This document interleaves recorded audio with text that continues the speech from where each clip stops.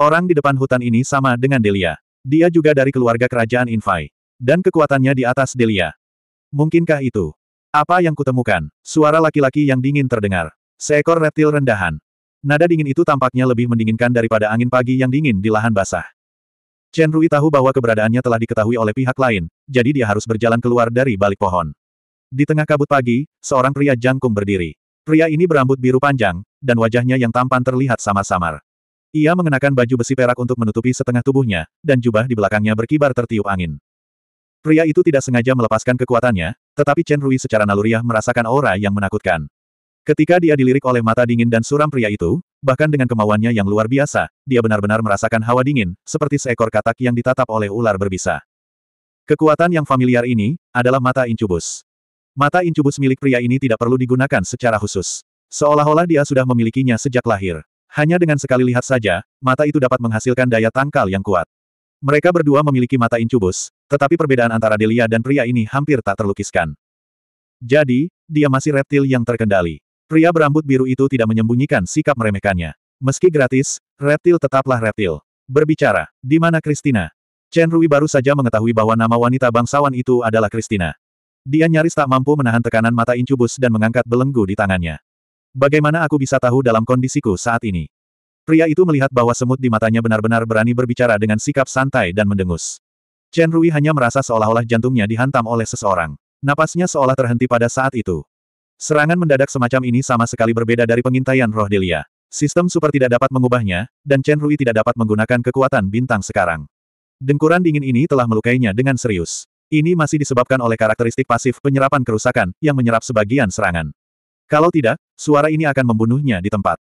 Wajah Chen Rui memerah, dan akhirnya dia tidak bisa menahan diri untuk tidak memuntahkan seteguk darah. Rasa dingin muncul di hatinya. Pria ini sebenarnya sangat kuat dan sangat kejam. Hanya dengan satu kalimat, dia telah mengambil nyawa seseorang. Melihat semut yang tidak berdaya ini belum mati, pria itu sedikit terkejut, dan cahaya redup muncul di matanya. Chen Rui melihat kabut di sekitarnya dengan cepat berubah, berubah menjadi sekelompok prajurit lapis baja yang memegang pisau tajam dan bergegas ke arahnya. Chen Rui punya intuisi bahwa para prajurit yang terkondensasi oleh kabut itu jelas bukan ilusi, tetapi mereka benar-benar punya daya mematikan yang kuat. Pada saat kritis, penglihatannya tiba-tiba menjadi kabur. Para prajurit kabut semakin menipis saat mereka mendekat. Sebelum mencapai Chen Rui, mereka telah berubah menjadi kabut tipis dan menghilang. Aku tidak menyangka kalau pemimpin tiga jenderal iblis kekaisaran, Brock Leviathan, tega membunuh orang lemah yang dipenjara tanpa alasan. Suara wanita bangsawan itu datang dari belakang Chen Rui. Begitu dia selesai berbicara, dia sudah muncul di depannya. Mendengar nama pria itu, Chen Rui akhirnya membenarkan tebakannya. Brok adalah saudara laki-laki Delia, pemimpin tiga jenderal iblis kekaisaran bayangan. Saat itu, dia mengancam Delia untuk menikahi Menteri Keuangan. Dia tidak menyangka kekuatan Brok jauh lebih kuat daripada Delia, yang berada di level Raja Iblis. Chen Rui samar-samar merasa bahwa kekuatan Brok yang sebenarnya kemungkinan besar telah melampaui level Raja Iblis Agung. Christina juga sama. Meskipun dia telah berlatih dari manusia lemah hingga kekuatannya saat ini dapat menyaingi puncak Raja Iblis tinggi, dibandingkan dengan pembangkit tenaga listrik ini, seperti yang dikatakan Christina, dia hanyalah seorang, lemah. Seharusnya ada kekuatan yang lebih kuat di atas Brock dan Christina. Bahkan Demon Overload bukanlah puncak kekuatan. Kepuasan Chen Rui sebelumnya langsung lenyap tanpa jejak. Ia berubah menjadi keyakinan yang kuat, jadilah lebih kuat. Nona, Anda pasti wanita bangsawan paling misterius di keluarga kerajaan, Christina. Brock dengan anggun menjalankan etiket seorang bangsawan. Dibandingkan dengan kekejaman dan sikap dinginnya tadi, seolah-olah dia adalah orang yang berbeda. Merupakan suatu kehormatan bagi saya untuk bertemu dengan Anda, Nona. Christina membalas etiket itu. Nada suaranya masih tenang. Jenderal Brock, tidakkah kau tahu bahwa mengikuti seorang wanita itu sangat tidak sopan? Memang agak kasar. Bai Luo tersenyum tipis. Namun, sebagai seorang pengagum, tindakan keras kepala seperti ini juga dianggap dapat dimaafkan. Aku datang ke sini secara pribadi untuk mengundangmu ke rumahku sebagai tamu. Aku ingin tahu apakah kau bersedia memberiku kehormatan itu. Sayangnya, aku sudah punya pasangan pria. Christina melirik Chen Rui. Aku harus mengecewakan keramahan sang jenderal. Sulit dipercaya kalau Nona akan memilih laki-laki tak berguna seperti dia sebagai pasangan prianya. Brock menatap Chen Rui dengan jijik. Lagi pula, siapa yang akan menyegel pasangan prianya dengan belenggu? Jangan remehkan kecemburuan seorang wanita. Dia hanya takut kalau dia akan lari dan mencari wanita lain. Christina berkata dengan tenang, jika sang jenderal tidak punya hal lain, tolong jangan ganggu kepentingan pribadi kami. Kepentingan pribadi, belenggu, mengikat, Chen Rui tercengang oleh kata-kata berani Christina. Nona, Anda memang luar biasa. Brock sedikit mengernyit. Itu semua untuk urusan pribadi. Sebagai jenderal kekaisaran, saya rasa perlu bagi saya untuk bertanya kepada Nona tentang urusan resmi. Orang-orang yang aku kirim untuk melindungi saudaraku dibunuh oleh Nona, kan? Ternyata mereka yang menghentikan saya menyelesaikan misi yang mulia Catherine adalah bawahan Sang Jenderal. Perjalananku kali ini mendapat persetujuan khusus dari Ratu. Mungkinkah bawahanmu tidak mematuhi perintah yang mulia? Itu bukan perilaku pribadi mereka, tetapi itu adalah niat Sang Jenderal. Perintah yang mulia adalah agar Anda datang ke tempat ini bersama seorang pria untuk melakukan sesuatu yang memalukan. Brock mencibir. Kata-katanya menjadi kasar. Tidak ada yang memalukan tentang itu. Keluarga Desire jauh lebih bebas daripada keluarga kerajaan lainnya dalam hal hubungan, Christina berkata terus terang, tetapi kalimat berikutnya adalah balasan.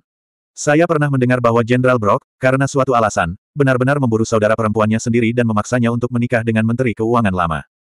Ini urusan keluargaku. Aku tidak butuh orang luar untuk bertanya. Wajah Brock berangsur-angsur menjadi muram. Nona membunuh bawahanku. Kau harus memberiku penjelasan. Kali ini saya sedang dalam perjalanan atas perintah yang mulia. Apakah Anda ingin melanggar perintah yang mulia? Mana surat perintahnya? Saya telah memberikan surat perintah kepada Delia untuk menangani urusan kota Leia. Namun, ini cincin kerajaan yang diberikan langsung oleh Yang Mulia. Anda dapat bertindak sesuai dengan keadaan. Christina mengangkat cincin di jari tengah kanannya. Saya seorang prajurit. Saya belum pernah mendengar tentang cincin kerajaan. Saya hanya akan mematuhi perintah yang ditandatangani oleh Yang Mulia. Suara Brok tiba-tiba menjadi tegas. Kabut di sekitarnya mulai berkumpul dengan cepat. Kalau begitu, Aku hanya bisa menggunakan cara yang kuat untuk membawa Nona kembali ke ibu kota dan menjelaskan semuanya di hadapan Yang Mulia Catherine. Begitu dia selesai berbicara, ribuan pasukan tiba-tiba muncul di tengah kabut dan menyerang Christina. Tangan Christina dengan cepat menggambar lingkaran dan riak-riak besar muncul di udara. Pasukan itu terguncang oleh riak-riak itu dan langsung kembali ke kabut semula. Pelemahan unsur. Pasukan kabut brok hancur, tetapi dia tidak tergerak sama sekali. Dia memuji, bakat Nona benar-benar tinggi. Kamu benar-benar dapat membangkitkan bakat garis keturunan keluarga kerajaan Asmodes hingga sejauh itu. Sayangnya, kekuatan Nona masih agak lemah. Meskipun kamu sangat dekat dengan level Kaisar Iblis dan kendali kekuatanmu yang halus sungguh menakjubkan. Sayangnya, aku sudah menguasai sepenuhnya kekuatan Kaisar Iblis. Anda akan segera merasakan perbedaan nyata antara keduanya. Dia benar-benar seorang Kaisar Iblis. Chen Rui terkejut. Dia tidak hanya terkejut dengan kekuatan Brock, tetapi juga Christina. Ini karena hanya dia yang tahu bahwa setelah Christina memakan tujuh buah aura, kekuatannya telah turun satu level. Kemudian, level asli Christina. Bagaimanapun juga, Christina saat ini sedang dalam kondisi lemah. Sangat berbahaya melawan Brock saat dia sedang dalam puncak kejayaannya. Sebuah benda logam persegi setinggi 4 meter tiba-tiba muncul di udara dan menghantam kepala Brock. Sosok Brock melintas dan muncul di belakangnya. Setengah dari benda logam itu tenggelam ke tanah dan tanah di seluruh hutan merah berguncang. Jelas terlihat betapa kuatnya benda itu. Chen Rui sudah ditangkap oleh Christina dan melompat ke tempat yang aman. Tubuh logam itu tampak hidup. Ia ditarik keluar dari tanah dan dengan cepat hancur menjadi sosok manusia setinggi 5 meter di udara. Selain mata, tidak ada organ lain di wajahnya. Tubuhnya diukir dengan berbagai simbol aneh yang memancarkan cahaya hijau redup. Sebelum manusia logam itu mendarat di tanah, ia terbang ke arah Brok di udara. Gerakannya tidak membuat orang merasa canggung karena tubuhnya yang besar. Sebaliknya, ia sangat cepat. Chen Rui tercengang. Gundam, tidak, Transformer, itu juga tidak benar. Alam iblis ternyata punya hal seperti itu. Boneka perang, seperti yang diharapkan dari Christina. Bahkan bakat terkuat dari keluarga kerajaan Asmodes setelah bangkit. Boneka perang itu bagaikan seorang prajurit yang masih hidup, melancarkan serangan dahsyat ke Brok. Tanah bergetar sedikit terus-menerus, dan pepohonan di sepanjang jalan tercabut seolah-olah kayu yang layu dan busuk, menari-nari di udara. Tanah itu penuh dengan lubang-lubang besar yang telah hancur. Bahkan dari jauh, dampak gelombang udara yang kuat itu dapat dirasakan. Ini adalah pertama kalinya Chen Rui menyaksikan pertempuran tingkat ini. Ia merasa pusing. Jika itu adalah kekuatannya saat ini, ia mungkin akan dibunuh oleh boneka perang dalam sedetik. Meskipun kekuatan boneka perang itu mengejutkan, Brock terus menghindar dengan tenang. Dia tidak terluka sama sekali. Setelah menghindar beberapa saat, Brock tampak sedikit tidak sabar. Ia tidak menghindar lagi. Ia membuka tangan kanannya dan menyambut serangan itu. Ketika boneka perang raksasa itu berjarak sekitar 10 meter dari Brock, ia tampaknya telah menemukan penghalang tak terlihat. Gerakannya yang cepat tiba-tiba mulai melambat. Tubuh Brock bergetar sedikit. Mata birunya berubah menjadi hitam. Kecepatan boneka perang semakin melambat. Saat berada sekitar 3 meter dari Brock, ia tidak bisa lagi bergerak maju. Badan logam itu mulai bergetar pelan. Tampaknya berada di bawah tekanan yang sangat besar. Brock mendengus dingin. Tiba-tiba dia muncul di atas boneka perang. Tubuhnya jatuh lurus ke bawah dan kedua kakinya mendarat di boneka perang. Dengan suara retakan, sebuah lubang besar dengan diameter puluhan meter muncul. Setengah dari tubuh boneka perang itu terjebak di tengah lubang. Ia tidak bisa bergerak untuk sementara waktu. Boneka perang itu tidak merasakan sakit. Ia tetap berusaha menarik tubuhnya keluar dan terus menyerang. Tinju Brok terus bergerak. Dia hanya bisa melihat bayangan samar di udara. Dia tidak tahu persis berapa kali dia meninju. Dia hanya bisa mendengar suara pukulan yang sangat padat dan berkecepatan tinggi. Kedalaman lubang di tengahnya bertambah dengan cepat. Ketika Brock berhenti, boneka perang setinggi 5 meter itu telah berubah menjadi tumpukan logam yang bengkok. Ada beberapa bagian yang berserakan di sekitarnya. Sosok manusia sebelumnya tidak terlihat sama sekali. Brock tiba-tiba mengerutkan kening. Dia melompat keluar dari lubang dan melihat Christina dan Chen Rui sudah menghilang. 122. Aneh sekali. Kudengar boneka perang dan roh tuannya punya hubungan khusus. Kalau boneka perang hancur, tuannya juga akan terluka parah. Kenapa dia masih bisa lolos dari bawah hidungku? Brock bergumam pada dirinya sendiri. Pada saat itu, logam, yang cacat itu belum hancur sepenuhnya. Ia terbang keluar dan menyerang bagian belakang kepalanya tanpa takut mati. Brock menoleh dan logam itu berhenti. Saat kecepatannya melambat, logam itu dengan cepat berubah menjadi es.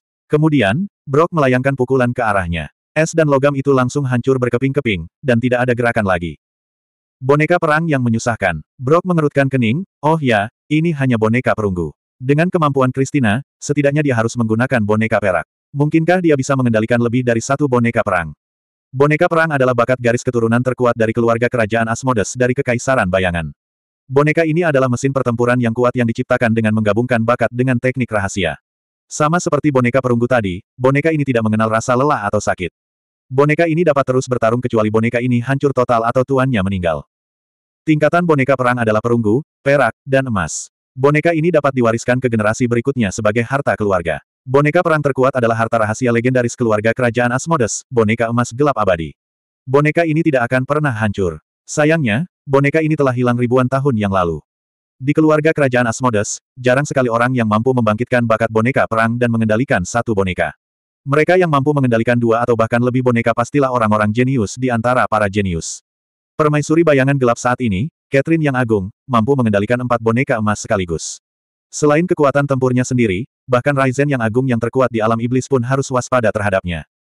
Christina saat ini hanyalah seorang Raja Iblis Agung, tetapi dia mungkin memiliki bakat yang kuat untuk mengendalikan dua boneka. Di masa depan, mata Brock dipenuhi dengan niat membunuh. Kabut yang menghilang akibat benturan keras itu berangsur-angsur berkumpul lagi. Sosok Brock tidak terlihat lagi dalam kabut itu. Chen Rui hanya bisa mendengar suara siulan di telinganya. Tubuhnya digendong Christina cukup lama. Agar tidak merasa pusing, ia hanya bisa memejamkan mata. Tiba-tiba, Tubuh Christina bergetar, dan dia berhenti tiba-tiba. Chen Rui membuka matanya dan melihat Christina memegangi dadanya dan batuk beberapa kali. Dia jelas terluka. Setelah jeda sebentar, Christina tidak berhenti dan terus berlari hingga mencapai lereng bukit yang agak terpencil di tengah hutan lebat. Ia kemudian berhenti dan segera mengatur keadaan sekelilingnya. Enam pilar logam muncul di sekitarnya. Pilar-pilar itu diukir dengan lapisan simbol seperti totem, yang tampaknya merupakan semacam peralatan sihir khusus. Nona, apakah Anda terluka? Sebuah pikiran terlintas di benak Chen Rui dan dia mengeluarkan sebotol ramuan penyembuhan. Ini untukmu. Ramuan penyembuhan yang dibuat oleh guruku jauh lebih efektif daripada ramuan milik Master Apoteker biasa. Terima kasih, tapi tidak apa-apa. Christina menggelengkan kepalanya. Ia bersikap sopan tetapi berhati-hati. Boneka perang itu seharusnya dihancurkan oleh Brock, jadi aku juga mengalami kerusakan. Tapi tidak apa-apa. Nona Christina, meskipun saya tidak mengerti dendam antara Anda dan Brock, mohon maaf karena saya terus terang. Anda tampaknya tidak sebanding dengan Brock dalam kondisi Anda saat ini, dan dia pasti akan terus mengejar Anda. Aku punya saran. Kembalikan, Dark Will, kepadaku terlebih dahulu, baru aku bisa mengaktifkan teleportasi dan melarikan diri. Christina merenung sejenak, tetapi tidak berkomentar. Sebaliknya, ia bertanya, apakah itu hanya Dark Will? Bagaimana dengan kunci ajaib kristal emas? Untuk menunjukkan ketulusan saya, kunci ajaib ini dapat menunggu hingga kita benar-benar keluar dari bahaya sebelum membukanya. Jika aku berteleportasi dan melarikan diri sendirian, aku tidak akan mampu bertahan hidup di tempat menakutkan seperti Silen Night Wetland. Apakah kamu tidak takut kalau aku akan mengingkari janjiku? Mata Christina di balik cadar tampaknya telah melihat pikiran Chen Rui. Dengan kecerdasanmu, kamu tidak akan menempatkan dirimu dalam situasi yang pasif dan berbahaya seperti itu. Ketika kau membuat kesepakatan denganku sebelumnya, kau menyebutkan untuk mendapatkan cincin itu terlebih dahulu sebelum membuka kunci ajaib itu. Jadi, bolehkah aku dengan berani berasumsi bahwa kau punya cara khusus untuk membuka kunci ajaib itu? Tidak bisakah kamu membuat asumsi seperti itu? Chen Rui merasakan hawa dingin di hatinya. Dia tidak menyangka Christina tidak panik sama sekali di saat kritis dikejar-kejar seperti itu. Sebaliknya, dia sangat tenang. Dia hampir saja menunjukkan kartu trufnya. Jika aku bisa membuka kunci ajaib itu, aku pasti sudah melarikan diri saat kau meninggalkan hutan daun merah. Chen Rui berpura-pura tidak senang. Tadi aku hampir mati di tangan Brock. Demi menyelamatkan hidupku, aku mengajukan permintaan seperti itu. Kalau kamu meragukan ini, maka aku tidak punya apa-apa untuk dikatakan. Aku hanya berharap Nona akan menunjukkan kekuatannya dan mengalahkan Brock, lalu membunuhku untuk membungkamku. Richard, maafkan aku karena paranoid. Kalau Anda jadi saya, yang sepanjang hari dikelilingi oleh segala macam rencana jahat dan konspirasi. Anda juga akan bersikap hati-hati seperti saya. Apalagi berhadapan dengan orang bijak seperti Anda, mau tak mau saya harus berpikir sedikit lebih dalam. Jangan lupa, Christina adalah seorang wanita. Menjadi paranoid adalah masalah umum bagi wanita. Pujian Christina yang tersamar membuat Chen Rui tidak bisa menahan ekspresi serius.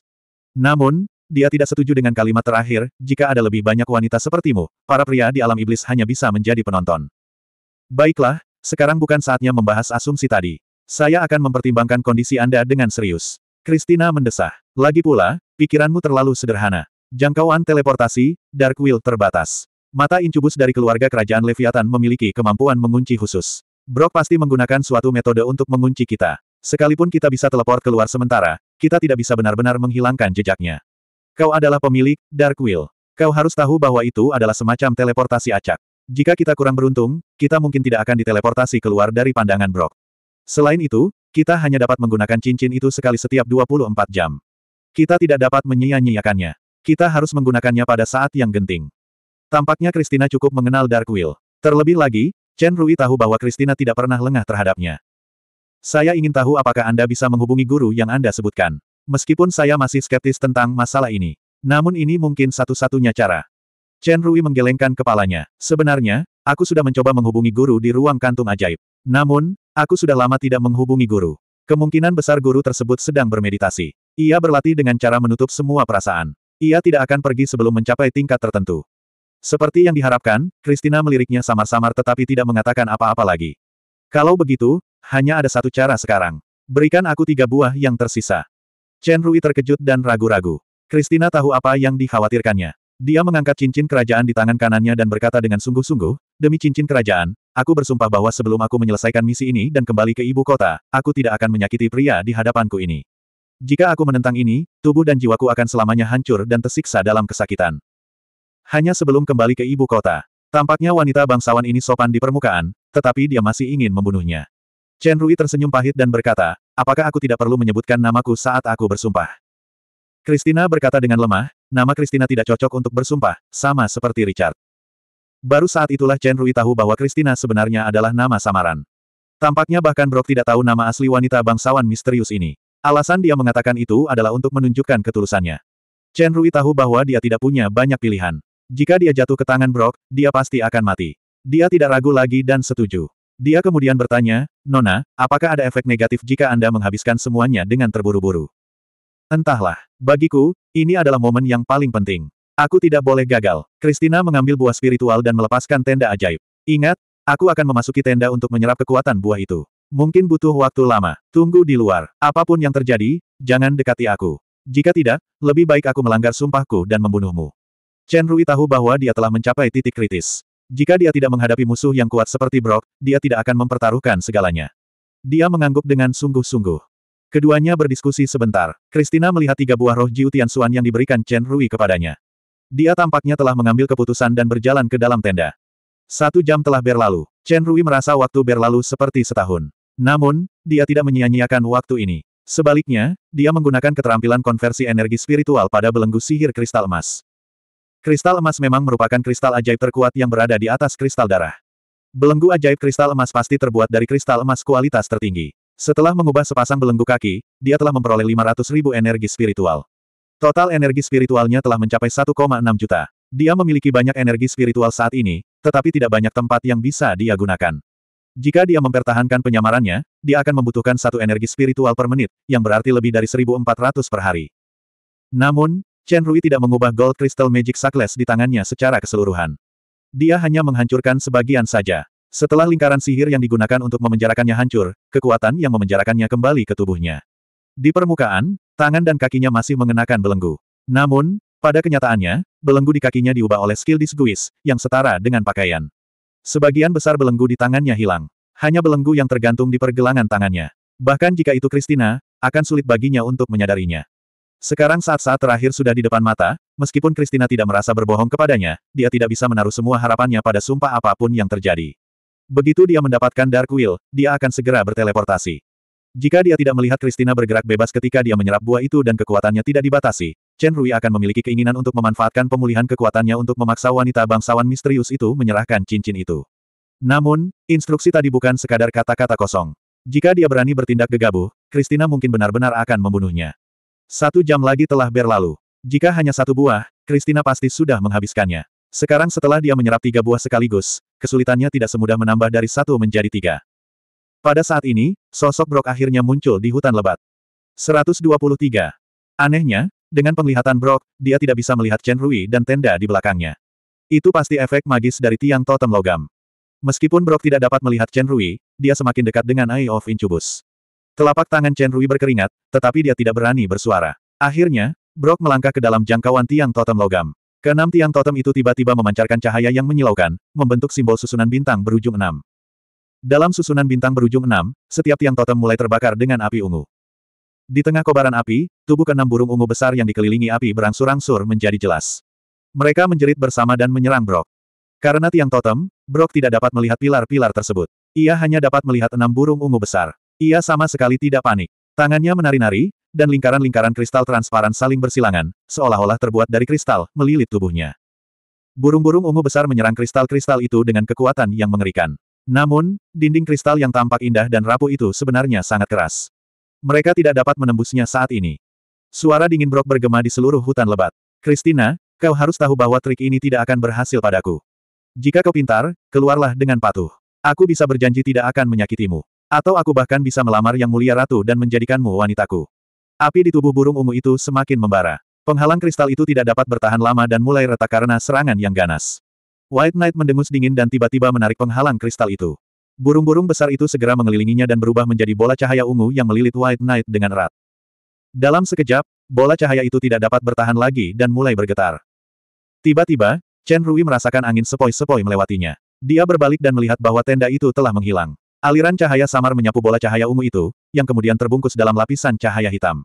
Aliran itu dengan cepat berputar di sekitar Baiye, yang berada di tengah. Tanah bergetar, dan retakan dengan kedalaman yang tak terduga muncul, seolah-olah terjadi gempa bumi. Dalam radius 100 meter, tidak ada satu pohon pun yang berdiri. Serpihan kayu yang patah, daun, dan kerikil beterbangan di mana-mana. Chen Rui telah lama mundur ke tempat yang aman. Dia melihat pertempuran yang menakjubkan secara visual dengan takjub. Ini bukanlah film blockbuster CGI dari dunianya sebelumnya, tetapi kekuatan nyata. Bola cahaya ungu tua itu berputar semakin cepat, tetapi getarannya juga semakin kuat. Dengan suara gemuruh yang keras, retakan yang tak terhitung jumlahnya muncul di bola cahaya itu, memperlihatkan cahaya merah terang. Burung-burung raksasa itu terkoyak dan jatuh ke tanah, berubah menjadi pilar totem logam yang pecah. Sosok Christina yang berjubah muncul di samping Chen Rui. Dia hampir pingsan. Chen Rui dengan cepat menangkapnya. Dia bisa merasakan bahwa Christina terengah-engah dan gemetar, seolah-olah dia terluka parah. Ekspresi Bai Luo juga kehilangan ketenangannya. Baju zirah perak di tubuhnya terpelintir dan retak, dan ada darah mengalir dari sudut mulutnya. Matanya telah berubah sepenuhnya menjadi hitam, yang merupakan tanda mata incubus telah sepenuhnya aktif. Dia memegang pedang panjang berwarna merah darah di tangannya. Wajah tampan Bai Luo sudah berubah. Nada suaranya, yang tadinya penuh permusuhan, kini dipenuhi keterkejutan yang langka. Jubah bayangan gelap, itu sebenarnya artefak tertinggi dari keluarga kerajaan bayangan gelap. Bagaimana kau bisa menggunakan Dark Shadow Cloak? Siapa kau? Artefak tertinggi dari keluarga kerajaan memiliki kehendaknya sendiri. Biasanya, hanya kaisar atau penguasa tertinggi yang dapat dikenali. Misalnya, hingga saat ini, Regen Obsidian dari Kekaisaran Malaikat Jatuh belum dikenali oleh artefak, Pedang Malaikat Jatuh. Tentu saja, hanya ada sedikit pengecualian dalam sejarah alam iblis. Orang-orang yang dikenali oleh artefak tersebut kemudian menjadi pemilik sebenarnya dari artefak tersebut, yaitu penguasa keluarga kerajaan. Yang mulia Catherine secara pribadi memberiku Dark Shadow Cloak. Jika kau berani menyerangku lagi, kau akan dihukum dengan pengkhianatan. Suara Christina terdengar sedikit berwibawa. Hanya saja karena lukanya yang parah, dia tampak sedikit lemah. Kaulah yang melakukan pengkhianatan. Mengapa yang mulia memberikan artefak, jubah bayangan gelap, kepada orang lain untuk digunakan? Pasti kau yang mencuri artefak itu. Mata hitam Bai Luo dipenuhi dengan niat membunuh. Sebagai jenderal paling terpercaya yang mulia, aku bersumpah untuk membunuh pengkhianat itu dan mengambil kembali artefak yang dicuri itu untuk yang mulia. Sikap Bai Luo masih sangat keras. Dia tidak memberi Christina kelonggaran apa pun. Bahkan Chen Rui dapat melihat bahwa apakah itu pengkhianatan atau pembunuhan pengkhianat, itu hanyalah alasan yang bermartabat. Bahkan jika Christina adalah permaisuri, Bai Luo bertekad untuk menyingkirkannya hari ini. Seorang jenderal kerajaan berani membunuh putri kerajaan yang dipercayai oleh permaisuri. Chen Rui tidak tahu apa yang salah, tetapi dia yakin bahwa Bai Luo tidak akan membiarkan siapa pun hidup, termasuk dirinya. Christina tidak membantah. Dia memegang erat lengan Chen Rui. Chen Rui hanya merasakan bahwa tangannya memiliki kekuatan khusus. Bukan hanya tubuhnya, tetapi bahkan jiwanya tampaknya terkunci erat oleh pegangan ini. Dia tidak bisa melarikan diri sama sekali. Sekarang, semuanya tergantung pada keberuntunganmu. Chen Rui tertegun. Dia hanya merasakan ada sesuatu di telapak tangannya. Itu adalah sebuah cincin. Totem logam yang pecah itu tiba-tiba meledak. Bai Luo memegang pedangnya secara horizontal untuk melindungi tubuhnya. Pada saat jeda itu, dia melihat gambar Christina dan Chen Rui tiba-tiba menjadi kabur dan terdistorsi. Dia tahu ada sesuatu yang salah. Dia tidak peduli dengan dampak ledakan itu. Dengan lompatan kakinya, dia langsung muncul di depan mereka berdua. Cahaya darah di tangannya bersinar terang, dan dia menebas pinggang mereka. Pada saat itu, Dark Will sudah aktif. Tebasan itu meleset. Bai Luo sangat marah. Dia mengayunkan pedang darahnya seolah-olah sedang melampiaskan amarahnya. Hutan di belakangnya terbelah dua. Seluruh hutan lebat itu dipenuhi dengan raungan amarah Bai Luo. Pada saat kritis itu, Chen Rui akhirnya mengaktifkan fungsi teleportasi Dark Will. Dia berpegangan tangan dengan Christina dan untuk sementara melarikan diri dari tangan jahat Bai Luo. Tentu saja, Alasan untuk bergandengan tangan ini adalah karena lengannya dipegang erat oleh Christina, dan dia tidak bisa melepaskan diri. Setelah beberapa saat pusing, mereka berdua muncul di suatu tempat yang tidak dikenal. Di hadapan mereka ada sebuah kolam besar. Dari warna airnya dan baunya yang menyengat, mereka tahu bahwa kolam itu mengandung racun. Di samping kolam, ada hutan tinggi yang jarang terlihat di lahan basah. Kabut hijau melayang di hutan. Racun, air, pepohonan, kabut, dan bahkan lumpur di bawah kaki mereka semuanya beracun. Namun, yang paling mengejutkan Chen Rui adalah banyaknya makhluk di hutan dan di tepi kolam. Oh benar, ada juga beberapa di langit. Sisik hijau coklat, sayap berselaput besar, taring tajam, dan anggota tubuh bagian bawah yang kuat. Chen Rui sangat mengenal makhluk seperti ini. Wyvern.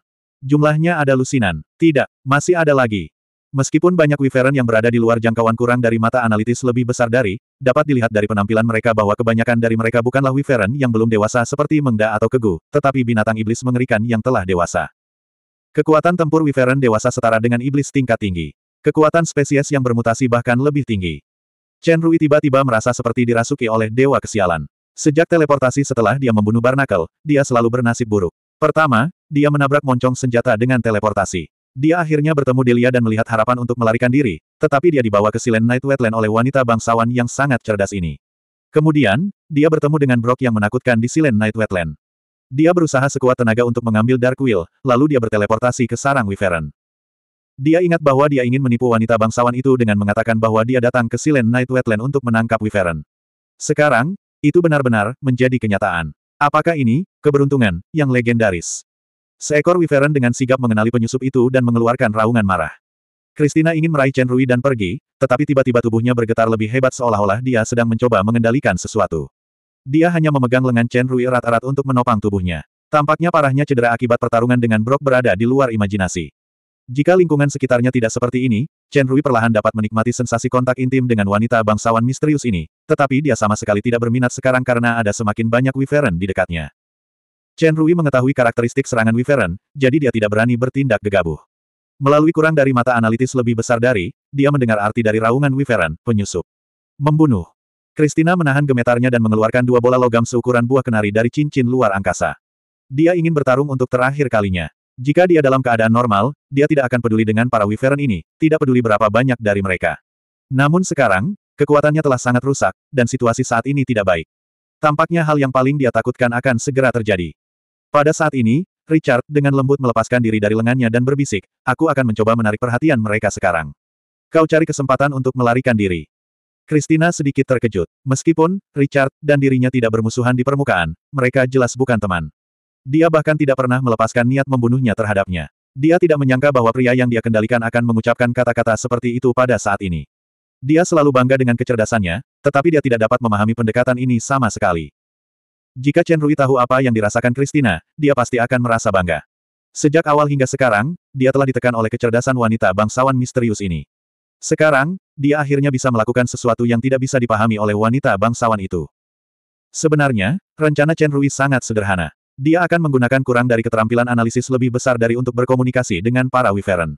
Jika itu benar-benar tidak berhasil, dia akan mencoba melarikan diri. Bagaimanapun, dia memiliki sifat tidak takut pada racun. Adapun kepergian Christina, itu melegakan baginya. Dia lebih suka menghadapi kelompok besar Wyvern ini daripada wanita dengan kecerdasan yang hampir mengerikan ini. Melihat Chen Rui menghadapi bahaya sendirian, Christina tiba-tiba merasakan firasat aneh di hatinya. Meskipun dia tahu bahwa pria ini mungkin punya rencana lain, firasat ini tetap tumbuh tanpa disadari. Mungkin karena dia terlalu sibuk, dia sudah lama tidak merasakan perasaan jauh ini. Begitu para Wyvern melihat Chen Rui melangkah maju, mereka mengelilinginya dan meraung dengan ganas. Tangan Christina yang memegang bola semakin erat, tetapi dia tidak mengambil kesempatan untuk pergi. Mari kita lihat apa yang ada dalam pikiran pria ini.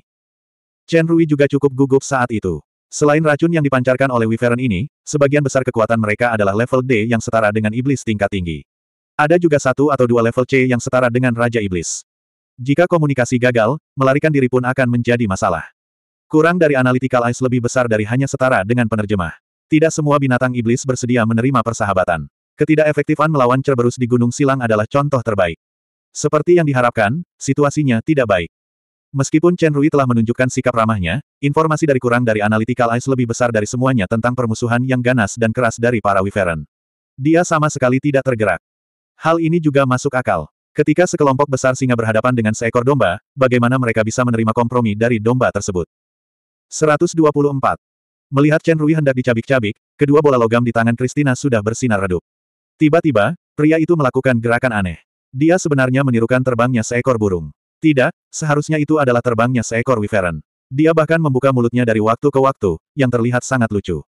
Mungkinkah dia mengalami gangguan mental dan kehilangan kendali di bawah bahaya? Kemudian, sesuatu yang aneh terjadi. Para Wyvern benar-benar berhenti menyerang dan hanya menonton pertunjukan yang lucu itu sambil mendesis pelan dari waktu ke waktu. Christina bisa merasakan bahwa permusuhan dalam desisan itu tampaknya telah banyak melemah. Dia bahkan lebih terkejut, sebenarnya ada keterampilan penjinakan binatang ajaib seperti itu.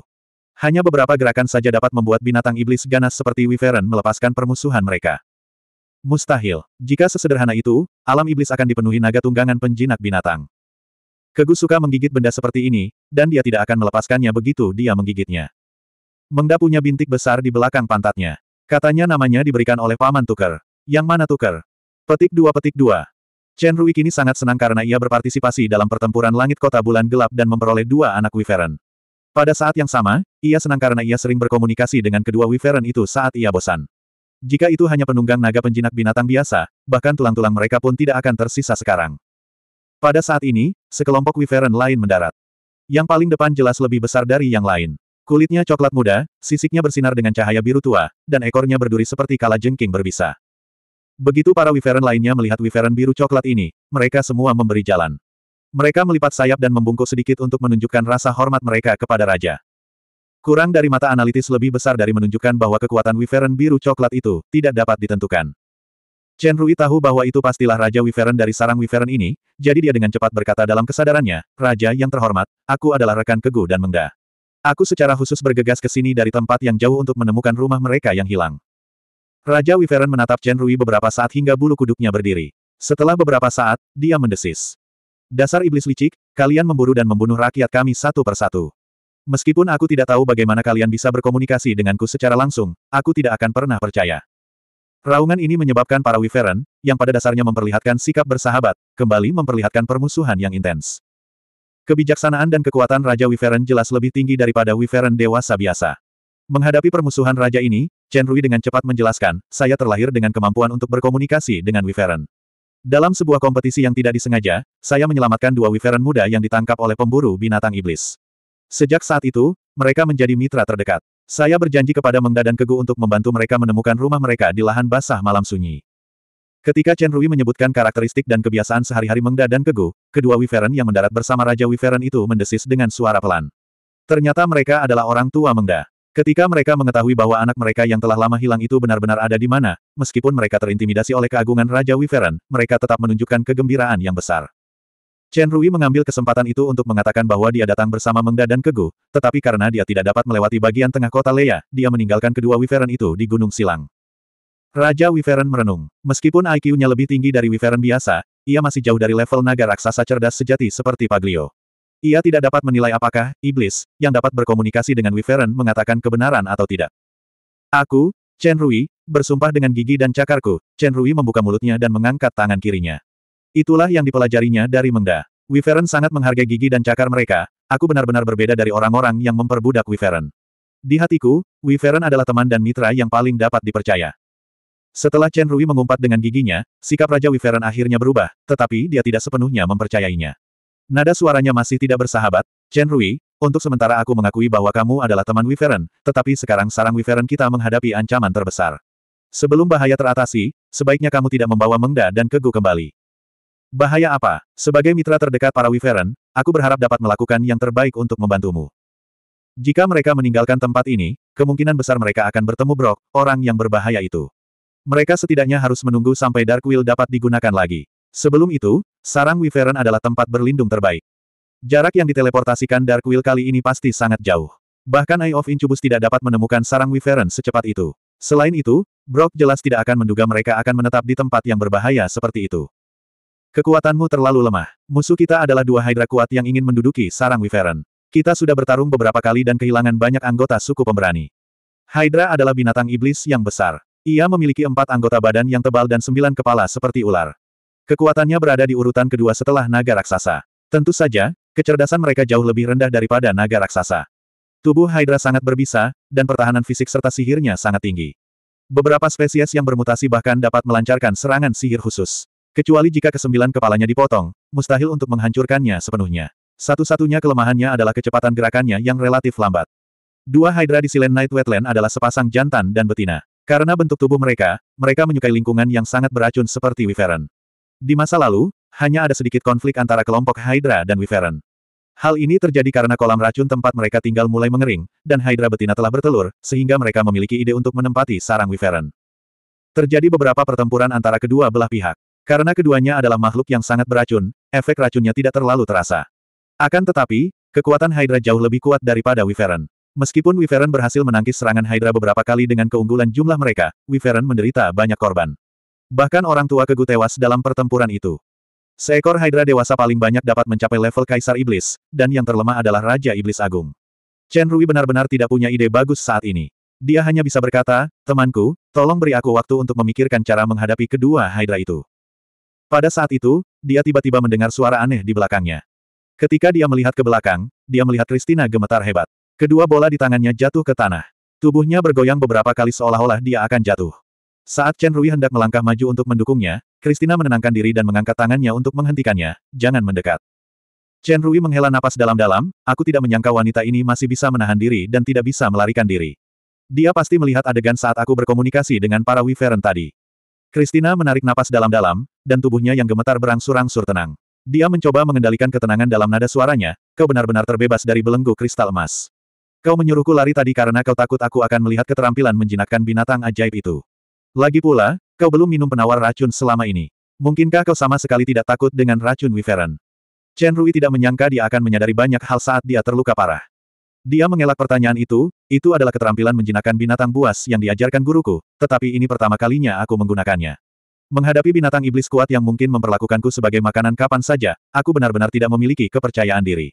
Jika aku benar-benar sekuat itu, aku akan memimpin tim Wyvern ke kota Leia untuk menghancurkan pengawal merah. Bagaimana mungkin aku jatuh ke tanganmu? Christina mendengus dingin, jadi kau membiarkanku pergi duluan karena aku lebih menakutkan daripada para Wyvern. Tidak selalu baik jika seorang wanita terlalu pintar. Chen Rui menggelengkan kepalanya, tetapi dia merasa sedikit aneh. Dia sebenarnya lebih fokus pada pertanyaan ini daripada keterampilan menjinakkan binatang buas atau kekebalan racun. Christina berkata dengan nada tidak puas, apakah kamu memandang rendah wanita? Sama sekali tidak. Chen Rui tersenyum pahit, tetapi jika semua wanita di alam iblis memiliki kebijaksanaan seperti Nona, maka para pria tidak akan bisa bertahan hidup. Itu karena kalian para lelaki tidak berguna. Christina mendengus lagi. Suaranya yang selalu setenang air ternyata mengandung sedikit kesan genit. Dia segera menyadari bahwa dirinya sedikit tidak normal, dan ketakutan yang belum pernah terjadi sebelumnya muncul di hatinya. Tiba-tiba, tubuhnya yang halus bergetar lagi, dan tingkat getarannya bahkan lebih parah. Nona, saya punya ramuan pemulihan di sini. Tidak perlu. Christina menjerit tidak wajar dan terengah-engah dengan keras. Dia meletakkan tenda ajaib itu di tanah sambil gemetar, dua bola petir di tanah akan menghasilkan ledakan dahsyat setelah tiga detik diaktifkan. Ambillah untuk berjaga-jaga. Ingat, apa pun yang terjadi, kamu tidak dapat memasuki tenda ini. Seperti yang dikatakannya, dia mencoba menahan gemetarnya dan berbalik untuk berjalan menuju tenda. Tepat setelah melangkah, dia tersandung, kehilangan keseimbangan, dan jatuh ke depan. Chen Rui tidak tahan lagi dan memeluknya. Ia bisa merasakan panas yang tidak biasa bahkan melalui pakaiannya. Ia mendesah, kau terluka parah, mengapa kau masih berusaha bersikap tegar? Biarkan aku membantumu masuk. Christina gemetar hebat, seolah-olah dia tidak bisa bicara lagi. Chen Rui membantunya masuk ke dalam tenda. Tenda adalah ruang lain yang berkarpet dan berkasur. Tenda tidak terpengaruh oleh dunia luar, dan racun dari luar tidak dapat masuk. Chen Rui membantunya berbaring di kasur, tetapi Christina memegang tangannya erat-erat dan menolak melepaskannya. Dia bisa merasakan suhu tubuhnya naik lagi. Christina, Kamu terluka parah dan demam. Lepaskan dulu, aku akan mengambilkan ramuan untukmu. Chen Rui merasa canggung saat lengannya dicengkeram. Christina masih belum melepaskannya. Tubuhnya gemetar dan tiba-tiba mendesah. Ia mengatakan sesuatu yang aneh, aku masih melebih-lebihkan diriku sendiri. Suaranya dipenuhi dengan kepahitan dan ketidakberdayaan. Kemudian, seolah-olah ada kekuatan yang coba ditekannya tiba-tiba dilepaskan. Sebelum Chen Rui sempat bereaksi, pintu tenda tiba-tiba tertutup. Lalu, sesosok tubuh panas datang mendekatinya. 125. Keduanya jatuh ke karpet pada saat yang sama, dan pakaian mereka dengan cepat diturunkan. Tidak peduli seberapa bodohnya Chen Rui, dia tahu apa yang akan terjadi. Hanya saja, pemaksaan yang tiba-tiba ini sungguh tak terduga. Yang membuatnya sedikit terdiam adalah karena sebagai laki-laki, dia telah menjadi orang yang pasif, dan perjuangannya menjadi sia-sia. Pada saat ini, Christina akhirnya melepas cadarnya. Kesan pertamanya adalah mata hitamnya yang seperti bintang, dan kemudian fitur wajahnya yang indah secara bertahap menjadi lebih jelas. Usianya sekitar 17 atau 18 tahun, tetapi temperamen di antara alisnya tampak memiliki kesan kedewasaan yang aneh. Namun, pada saat ini, sepasang mata indah yang biasanya dalam dan bijaksana itu bersinar dengan cahaya hasrat. Sempurna, Chen Rui benar-benar tidak dapat menemukan kata sifat lain untuk menggambarkan penampilannya yang tiada taraf. Jantungnya berdebar kencang tak terkendali. Bahkan kecantikan nomor satu bulan gelap, Putri Jia, sedikit lebih rendah di hadapannya. Bukan hanya penampilannya yang sempurna, tetapi tubuhnya yang putih bagaikan batu giok juga sempurna. Setiap bagian tubuhnya bagaikan mahakarya Tuhan. Begitu indahnya, sampai-sampai terasa sesak. Ketika Chen Rui hampir mati lemas, dua bibir merah hangat menempel dan tercetak di mulutnya. Perasaan luar biasa menyebar ke seluruh tubuhnya. Keduanya gemetar. Gerakan Christina masih sedikit tersentak sebelumnya, tetapi dia perlahan-lahan menjadi mahir. Ciuman pertama Chen Rui direnggut secara misterius setelah ia dibuat pingsan oleh Alice. Nah, Inilah arti sebenarnya dari ciuman yang dalam. Terutama saat dadanya diremas oleh dua giok yang montok dan hangat, perasaan giok yang hangat dan harum di lengannya tidak dapat dijelaskan dengan kata-kata. Napas dari bibir Christina tampaknya memiliki efek aneh yang merangsang hasrat. Efek ini menjadi lebih kuat ketika ludah dari kedua lidah mereka saling bertautan. Tatapan mata Chen Rui mulai berubah. Karakteristik maskulinnya menjadi sangat keras. Hasrat primitif yang telah ia tahan sejak kelahirannya kembali bagaikan bubuk mesiu yang menyala. Hasrat itu akhirnya meledak tak terkendali, dan tindakannya menjadi lebih aktif. Tak lama kemudian, napas cepat itu mulai bercampur dengan erangan menyakitkan dan dangkal. Lambat laun, terdengar nada gembira dalam erangan itu. Lambat laun, itu menjadi melodi utama di dunia kecil ini. Tenda ajaib itu tidak memiliki banyak pertahanan, tetapi atas perintah Raja Wyvern, para Wyvern berkaki dua tidak mendekati tenda itu. Dari sudut pandang Wyvern King, Chen Rui ini memang dapat dipercaya. Setelah mengetahui tentang Hydra, dia tidak langsung melarikan diri bersama teman-temannya. Sebaliknya, dia tinggal di sini untuk memikirkan tindakan balasan. Chen Rui tidak tahu bahwa persetujuan Raja Wyvern terhadapnya tiba-tiba meningkat ke tingkat yang cukup tinggi. Saat ini, meskipun pikirannya samar-samar sadar dan dia tahu apa yang sedang dia lakukan, tubuhnya bergerak dengan keras di bawah dorongan nalurinya. Christina, yang terhimpit di bawahnya, merasakan hal yang sama. Kulitnya yang seputih salju sedikit memerah karena kegembiraan yang terus-menerus, dan dia berkeringat deras. Dia tidak tahu apakah itu ilusi, tetapi bibir merah Christina akan berubah menjadi hitam selama momen-momen tertentu yang bernada tinggi, dan sepasang sayap hitam tembus pandang akan muncul di punggungnya, samar-samar memancarkan cahaya kemasan. Itu sangat kontras dengan tubuhnya yang seperti batu giok, memancarkan rasa godaan yang kuat dari dunia lain. Tak peduli bentuk apa yang diambilnya, gerakannya tetap sama. Yaitu memutar tubuhnya yang halus untuk menerima serangan keras dan kasar dari pria itu. Serangan yang tak tertahankan dan menggoda itu semakin keras dan keras. Di tengah napas yang panas, keduanya tak kuasa menahan diri untuk tidak tenggelam dalam hubungan seksual yang paling naluriah. Tidak ada yang tahu berapa banyak waktu telah berlalu. Gairah di dalam tenda akhirnya mereda. Setelah dingin, terjadi keheningan panjang. Jelas bahwa ini adalah pertama kalinya bagi Christina, tetapi permintaannya sangat kuat. Seolah-olah hasrat yang telah disimpan selama bertahun-tahun dilepaskan sekaligus. Itu juga pertama kalinya Chen Rui menjadi perawan dalam dua kehidupan, tetapi dia mampu sepenuhnya menangani kebutuhan Christina yang hampir menakutkan, dan bahkan sepenuhnya memadamkan hasratnya yang menyala-nyala. Chen Rui tidak mengalami kelelahan hebat seperti yang dialami pria normal setelahnya.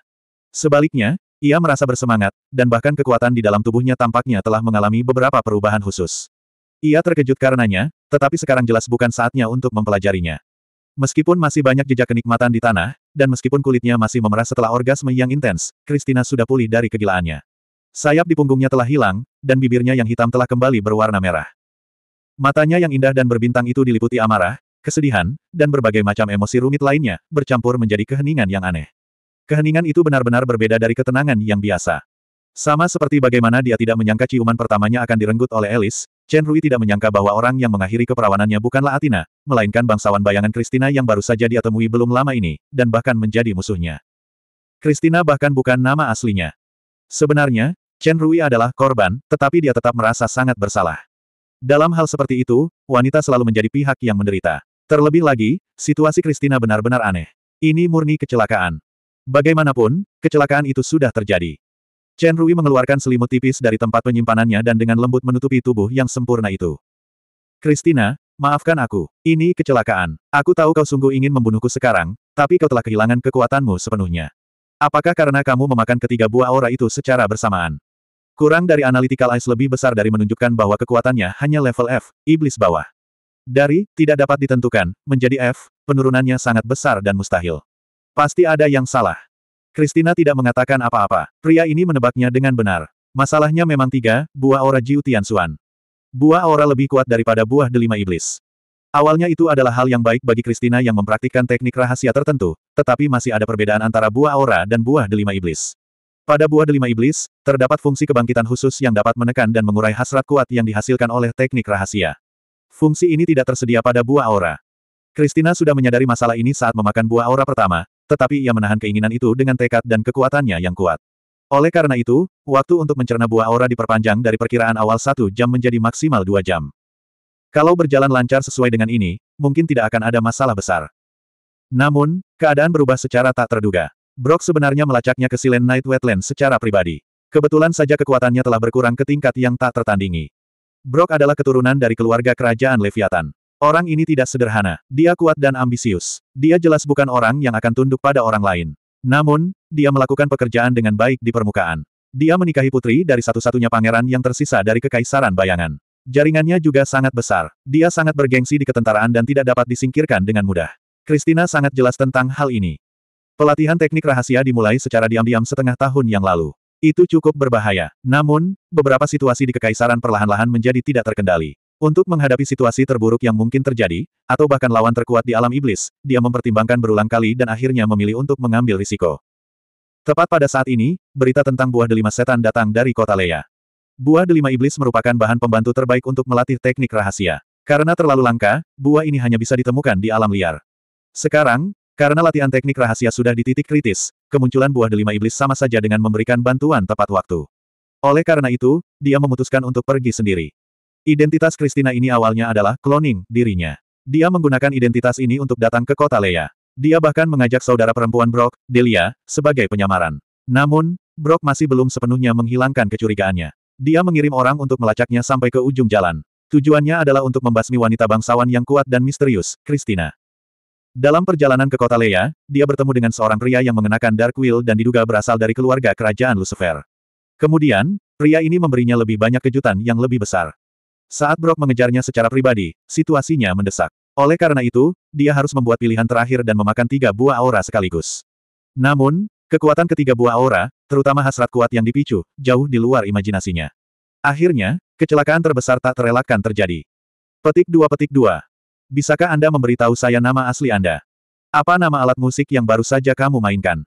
Suara enggan pria itu terdengar lagi. Sampai saat ini, dia sudah mengajukan banyak pertanyaan yang tidak penting. Tujuannya adalah untuk mendapatkan lebih banyak informasi darinya sebelum dia membunuhnya. Keduanya adalah orang-orang yang cerdas. Mereka berdua tahu bahwa hubungan yang tidak disengaja ini tidak akan menghasilkan perasaan yang membosankan, tetapi hanya kebencian. Kalau saja dia tidak mengetahui kekuatan sebelumnya, mungkin pria ini masih punya ide untuk menaklukkannya dan menjadikannya budak untuk memuaskan hasratnya. Akan tetapi, dia harus sangat jelas bahwa kekuatannya jelas tidak berada di bawah kendalinya, jadi dia hanya bisa membunuhnya sebelum dia memulihkan kekuatannya untuk membalas. Jika dia, dia juga akan punya pilihan ini. Kematian tidak dapat dihindari. Ketika Chen Rui tidak berdaya, dia mendengar Christina akhirnya berkata, aku melebih-lebihkan diriku lagi. Aku harus berpura-pura sepenuhnya ditaklukkan olehmu dan mencoba menyenangkanmu dengan cara yang paling hina untuk melihat apakah aku bisa bertahan. Kemudian, ketika kekuatanku pulih, aku akan mencabik-cabikmu. Namun tiba-tiba aku sadar bahwa aku tidak bisa melakukannya. Saat ini, aku hanyalah seorang wanita yang lemah. Chen Rui terdiam. Dia menghela napas dan berkata, mengapa kamu pikir aku pasti akan membunuhmu? Jangan menghina kecerdasanmu sendiri, dan jangan buang-buang energi lagi. Kamu tidak akan mendapatkan informasi apa pun dariku. Mata Christina menunjukkan sedikit ejekan. Tubuhku, rasanya enak sekali, bukan? Karena ini baru pertama kalinya, banyak teknik rahasia keluarga kerajaan yang tidak digunakan. Sebelum aku mati, aku bisa melepaskan segalanya dan memuaskanmu sepenuhnya sekali. Aku akan membiarkanmu merasakan cita rasa sejati dari keinginan keluarga kerajaan Asmodes. Hanya ada satu syarat. Kondisi apa? Kembalikan Dark Shadow Claw ke keluarga kerajaan. Artefak ini tidak akan berpengaruh pada siapa pun selain keluarga kerajaan Asmodes. Tentu saja, Anda juga dapat meminta lebih dari keluarga kerajaan. Saat berbicara tentang menggunakan tubuh dan hidupnya sebagai suatu perdagangan, Christina tampak sangat tenang, seolah-olah dia adalah danau tanpa kehidupan. Begitu tenangnya hingga hampir mati. Jantung Chen Rui bergetar entah kenapa. Ia seperti melihat api terakhir yang membakar kehidupan di ruang bawah tanah itu. 126. Chen Rui terdiam lama sebelum berkata, mari kita ubah kondisinya. Apakah tidak cukup untuk memuaskanmu sekali? Ejekan Christina semakin kuat, atau kamu menginginkan sesuatu yang lain? Apakah kamu masih ingat sumpahmu? Kamu tidak bisa menyakitiku. Chen Rui menggelengkan kepalanya. Bawalah Dark Shadow Cloak bersamamu. Penuhi saja sumpah itu setelah kau memulihkan kekuatanmu. Sebagai bunga, aku dapat membantumu menahan Brock. Christina sama sekali tidak tergerak. Dia mencibir. Dengan kecerdasanmu, bagaimana mungkin kau bisa membuat pilihan bodoh seperti itu? Bukan saja kau melebih-lebihkan dirimu sendiri, tapi kau juga melebih-lebihkan aku. Harus kukatakan, aku jauh lebih bodoh daripada yang kau kira, Chen Rui perlahan mengenakan pakaiannya. Anggap saja aku benar-benar terpikat oleh kecantikanmu. Christina mendengus. Kau ingin menaklukkan hatiku dengan cara yang lembut. Dan mendapatkan lebih banyak dariku, dari kekaisaran bayangan. Apakah Anda yakin rencana ini akan berhasil? Wanita dengan pikiran yang rumit, tidak bisakah pikiranmu lebih sederhana? Chen Rui berkata dengan keras. Jadi bagaimana jika aku ingin menaklukkan hatimu? Kaulah wanita pertamaku, wanita cantik yang memukau, wanita yang punya perasaan padaku. Kalau saja tidak ada, terlalu banyak hal yang mustahil, kau pasti akan benar-benar tersentuh olehku. Sesederhana itu. Persetan dengan kekaisaran bayangan. Persetan dengan rencana itu. Hati Christina bergetar. Ia ingin mencari sesuatu yang tersembunyi atau cacat di mata pria itu, tetapi ia tidak berhasil. Dengan kekuatanku, aku tidak bisa menjanjikan apa pun sekarang, dan aku tidak bisa mengubah apa pun. Namun, suatu hari, aku akan datang ke kekaisaran bayangan dengan kekuatan yang dapat membuat seluruh alam iblis gemetar. Bahkan jika kau adalah pewaris ratu, bahkan jika kau telah naik tahta, aku akan membawamu pergi. Christina tidak percaya. Setelah sekian lama, dia mengucapkan dua kata, bodoh. Saya bukan orang bijak. Saya hanya seorang pria. Pria kamu. Meskipun kaulah yang memulai kecelakaan ini sejak awal. Chen Rui tampaknya telah melepaskan beberapa beban psikologis dan tersenyum. Jangan meremehkan kecemburuan dan sikap posesif seorang pria. Jika pria lain berani menyentuhmu selama periode ini, aku akan menghancurkan seluruh kekaisaran bayangan. Bajingan sombong. Tiba-tiba, Christina tidak dapat menahan amarahnya. Kesedihan dan kemarahannya entah bagaimana memudar. Chen Rui mengangkat bahu dan dengan penasaran mengambil jubah abu-abu muda di samping Christina. Jubah cahaya ini ternyata adalah salah satu dari tujuh artefak keluarga kerajaan legendaris, Sado Kloak, yang juga merupakan harta nasional Kekaisaran Bayangan. Maknanya setara dengan pedang malaikat jatuh dari Kekaisaran Malaikat Jatuh. Catherine yang agung dari Kekaisaran Bayangan tidak pernah menikah, dan Kekaisaran tersebut tidak memiliki pewaris yang jelas. Karena Christina dapat menggunakan artefak, ditambah dengan cincin kerajaan dan identitasnya sebagai seorang wanita bangsawan, Chen Rui hampir yakin bahwa Christina adalah pewaris yang diam-diam dipersiapkan oleh Catherine yang agung. Dengan kata lain, dia adalah calon permaisuri kekaisaran bayangan. Itu juga bisa menjelaskan mengapa Bai Luo bertekad membunuhnya. Jika apa yang baru saja terjadi tidak terjadi, langkah pertama Chen Rui setelah lepas dari kendali Christina adalah segera melarikan diri dari lahan basah malam sunyi yang berbahaya. Namun, sekarang, haruskah dia membunuhnya saat dia lemah untuk menghindari balas dendam? Atau haruskah dia meninggalkannya di sini untuk disiksa oleh Bai Luo? Itu tidak mungkin. Dia tidak bisa meninggalkan wanita pertama dalam hidupnya dan melarikan diri sendirian. Dia tidak bisa membiarkan wanita cantik yang tidak bisa diganggu gugat ini menjadi abu. Padahal, keduanya punya kesan yang baik satu sama lain. Kalau memang mereka ditakdirkan untuk berkembang, mungkin akan ada lika-liku panjang di tengah sebelum mereka benar-benar bisa mencapai jenjang penyatuan. Namun, kecelakaan ini menyebabkan bagian tengah yang panjang itu terlewati dan langsung menuju ke topik terakhir.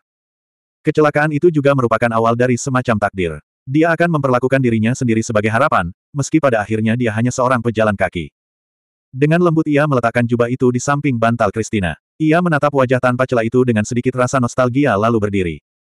Aku tidak akan memberimu kesempatan untuk membunuh calon suamimu, dan aku tidak akan tinggal di tiga kerajaan lagi. Aku akan pergi ke tempat yang lebih jauh untuk berlatih sampai aku memiliki kekuatan untuk benar-benar mengguncang alam iblis. Sebelum itu, aku akan membantumu menahan Bailuo. Katakan padaku, berapa lama kau perlu memulihkan kekuatanmu? Christina tidak menjawab. Chen Rui menggelengkan kepalanya dan berbalik, kalau begitu, berusahalah sebaik mungkin sebelum aku mati di tangannya. Kebaikanmu yang membosankan tidak akan pernah membuatmu menjadi orang yang benar-benar kuat. Kau hanya akan menjadi semakin lemah. Suara Christina terdengar dari belakang. Tubuh Chen Rui berhenti sejenak dan berbalik, mungkin, tetapi aku bisa menjadi lebih kuat dan tak kenal takut karena kelemahan tertentu. Hati Christina bergetar. Untuk pertama kalinya, dia menatap langsung ke matanya. Suatu hari, kamu tidak bisa bergerak. Meskipun suaranya lembut, Chen Rui masih mendengarnya. Dia tiba-tiba tersenyum, suatu hari seharusnya tidak sulit, kan? Bai Luo mungkin tidak dapat menemukan tempat ini. Namun, untuk membantu Anda pulih secepatnya, apakah kita masih perlu melakukannya lagi? Keluar, keluar. Christina menggertakkan giginya dan berteriak dengan marah. Namun, keheningan yang mematikan di matanya yang indah telah menghilang tanpa jejak. Chen Rui terkekeh. Dia membuka tenda dan berjalan keluar. Bajingan, bodoh, pria yang tidak bisa dimengerti. Christina bergumam pada dirinya sendiri. Kesabaran barusan adalah cara terbaik baginya untuk melampiaskannya karena dia telah menahannya selama ini. Selain itu, efek dari buah roh telah diserap sepenuhnya. Waktu pemulihan dalam sehari hanya setengah dari yang dia harapkan, tetapi efeknya akan jauh melebihi apa yang dia harapkan. Haruskah dia percaya pada kebodohan pria ini? Kebijaksanaan dan pengalaman memberitahu Christina bahwa jika Bai Luo benar-benar menemukan tempat ini, dengan perbedaan kekuatan di antara mereka, dia tidak akan bisa menunda bahkan semenit pun, apalagi sehari. Namun, naluri lain yang melampaui akal sehat mengatakan kepadanya bahwa bajingan ini mungkin benar-benar bisa melakukannya. Bukan hanya untuk satu hari, tetapi bahkan lebih. Christina tiba-tiba merasakan sensasi aneh. Rasanya seperti menginjak tanah padat di rawa berlumpur. Rasanya juga seperti bersandar di pohon saat ia lelah. Ia tidak dapat menggambarkannya dengan kata-kata saat itu. Mungkin dia akan tetap membunuh pria bodoh ini tanpa ragu setelah dia mendapatkan kembali kekuatannya. Mungkin sensasi aneh ini akan hilang tanpa jejak saat dia bangun. Bahkan jika ada jejak samar yang tertinggal, itu akan perlahan digantikan oleh dinginnya tahta di belakangnya seperti banyak hal lainnya. Namun, pada saat itu juga, ia merasakan kedamaian yang belum pernah ia rasakan sebelumnya. Pikirannya menjadi lebih rileks, dan ia tidak perlu lagi menahan rasa lelah yang luar biasa setelah kenikmatan yang luar biasa. Ia memejamkan matanya dengan lembut. Chen Rui berjalan keluar tenda, merasa seolah-olah baru saja mengalami mimpi musim semi yang indah. Sejak saat itu, dia menjadi pria sejati dalam arti kata yang sebenarnya. Christina adalah wanita cantik yang tiada taraf. Sebagai pria normal, seorang perawan yang telah bereinkarnasi ke dalam dua kehidupan, dia tidak dapat menyangkal bahwa paras dan tubuh Christina yang sempurna memiliki daya tarik yang tak tertahankan baginya. Terutama sensasi luar biasa saat menempel padanya tadi. Dia tidak akan pernah melupakannya selama sisa hidupnya. Christina adalah wanita yang luar biasa. Baik dari segi kebijaksanaan maupun kecantikannya, dia adalah wanita yang langka di dunia ini, dan ada kemungkinan besar dia akan menjadi permaisuri kekaisaran bayangan berikutnya. Chen Rui tahu betul bahwa posisi dan kemampuannya saat ini terlalu jauh. Bahkan jika dia benar-benar menyentuhnya, dia tidak akan pernah bisa bersamanya secara nyata. Menjadi lebih kuat, saya harus menjadi lebih kuat lebih cepat. Terlepas dari apakah kecelakaan ini merupakan kesalahan sesaat atau takdir, di masa depan. Dia setidaknya akan memiliki kekuatan untuk membuat Christina memilih, untuk memberikan kesempatan kepada gadis cantik yang mencintai musik tetapi bahkan tidak punya waktu untuk merasa kesepian ini untuk benar-benar memilih bagi dirinya sendiri. Namun, pihak Atina sedikit licik. Meskipun hubungan mereka masih samar-samar dan tidak ada yang disebut pengkhianatan atau perselingkuhan, Chen Rui tetap merasa sangat menyesal. Sejak ia bereinkarnasi ke dunia ini, ia selalu berjuang untuk bertahan hidup. Ia memang memiliki beberapa pemikiran pria normal terhadap wanita cantik seperti Jia dan Kia, tetapi orang yang benar-benar menggerakkan hatinya adalah Atina. Awalnya ia hanya ingin berpegangan tangan dengan gadis yang penuh gairah, murah hati, dan sedikit kasar tersebut, namun dunia memang selalu penuh dengan berbagai macam kecelakaan, seperti yang terjadi saat ini. Faktanya, poligami cukup umum di alam iblis. Bahkan wanita yang kuat pun bisa memiliki banyak pria. Sebagai seorang otaku yang suka berfantasi, ia berfantasi tentang bepergian ke zaman kuno dan menjadi kaisar dengan tiga istana dan enam halaman. Namun, dengan Christina, itu benar-benar sebuah kecelakaan. Dia tidak tahu apakah akan ada hasil dengan Christina di masa depan. Apa pun yang terjadi, dia harus menjelaskan dengan jujur kepada Atina dan meminta maaf padanya. Karena Christina telah memasuki semacam kondisi pemulihan, dia tidak dapat dipindahkan selama sehari, jadi dia tidak dapat langsung menggunakan Dark Will untuk melarikan diri bersamanya. Dia hanya dapat tinggal di Wyvern's Lair selama sisa hari itu. Dari teleportasi terakhir hingga sekarang, termasuk berlama-lama dan mengobrol di tenda, beberapa jam telah berlalu. Hari mulai gelap, dan masih ada 20 jam tersisa. Tidak lama, tetapi juga tidak singkat. Hasil yang paling beruntung adalah Christina menyelesaikan pemulihannya sebelum Brock dapat menemukan tempat ini. Area Silent Night Wetland sangat luas, tetapi jarak teleportasi Dark Wheel terbatas. Terlebih lagi, Christina pernah mengatakan bahwa mata incubus milik Brock memiliki efek penguncian khusus, jadi dia tidak bisa sepenuhnya menggantungkan harapannya pada keberuntungan. Terlebih lagi, ada juga binatang iblis yang menakutkan, Hydra, yang ingin menyerang tempat ini kapan saja. Bagi Christina yang tidak bisa bergerak, itu juga merupakan ancaman besar. Sekarang, ia harus memikirkan cara untuk memastikan keselamatan selama 24 jam dalam segala situasi berbahaya yang mungkin terjadi. Kemudian, ia harus segera melarikan diri sebelum Christina memulihkan kekuatannya dan mulai membunuh orang. Brock adalah seorang ahli tingkat Kaisar Iblis. Jika dia benar-benar melacaknya di sini, berdasarkan kekuatannya yang sebenarnya, dia bahkan tidak akan bisa menundanya semenit pun. Dia hanya bisa mengandalkan akalnya. Chen Rui merenung. Ketika dia mengangkat kepalanya, dia melihat Raja Wiferen menatapnya dari jarak yang tidak jauh. Meskipun dia tahu bahwa orang luar tidak bisa melihat apa yang terjadi di tenda ajaib, dia tetap merasa sedikit bersalah. Chen Rui, kamu berpikir lama sebelum keluar. Apakah kamu memikirkan sesuatu? Raja Wiferen berjalan perlahan. Chen Rui tersipu, yang jarang terjadi. Jika dia harus mengatakan bahwa dia sedang berpikir di dalam tenda tadi, dia menggunakan tubuh bagian bawahnya. 127. R. Melihat tatapan penuh harap dari Raja Wiferen, Chen Rui mendapat ide. Bagaimana dengan ini? Bukankah Hydra baru saja bertelur? Bisakah kita mencuri telur Hydra dan menggunakannya untuk mengancam mereka, memaksa mereka menyerah-menyerang sarang Wyvern atau bahkan meninggalkan lahan basah malam sunyi? Raja Wyvern sempat memikirkan rencana ini dan menolaknya. Ada dua Hydra, dan Wyvern bukanlah tandingan mereka, jadi mereka tidak bisa mencuri telur-telur itu. Selain itu, Hydra-Hydra itu sangat pendendam. Bahkan jika mereka bisa mencuri telur-telur itu dan memaksa mereka mundur sementara, mereka akan menghadapi pembalasan dendam yang lebih gila lagi di masa mendatang. Chen Rui baru saja memikirkan rencana ini dengan tergesa-gesa. Jika dia benar-benar membantu Wyvern King, dia hanya akan mengobati gejalanya dan bukan akar masalahnya. Dia bisa memastikan keselamatan Christina untuk sementara, tetapi setelah Christina mendapatkan kembali kekuatannya, hal pertama yang akan dia lakukan adalah membunuhnya. Dia pasti tidak akan membantu Wyvern melawan Hydra, dan itu mungkin akan membawa bencana bagi Wyvern Dragon. Yang lebih penting, tanpa bantuan Wyvern King, dia tidak dapat mencuri telur Hydra sendirian. Pada saat ini, seekor Wyvern turun dari langit dan mendesis pelan ke arah Raja Wyvern. Chen Rui telah menggunakan mata analitik sepanjang waktu. Dia terkejut ketika mendengar arti desisan itu. Wyvern berkata bahwa pria berbaju besi perak di Danau Bulan telah membunuh dua Wyvern. Bai Luo benar-benar muncul di area ini begitu cepat. Chen Rui, apakah pria berbaju besi perak ini temanmu? Dia benar-benar membunuh dua Wyvern, salah satunya adalah seekor anak singa. Suara Wyvern King dipenuhi dengan kemarahan. Bukan teman, tapi musuh.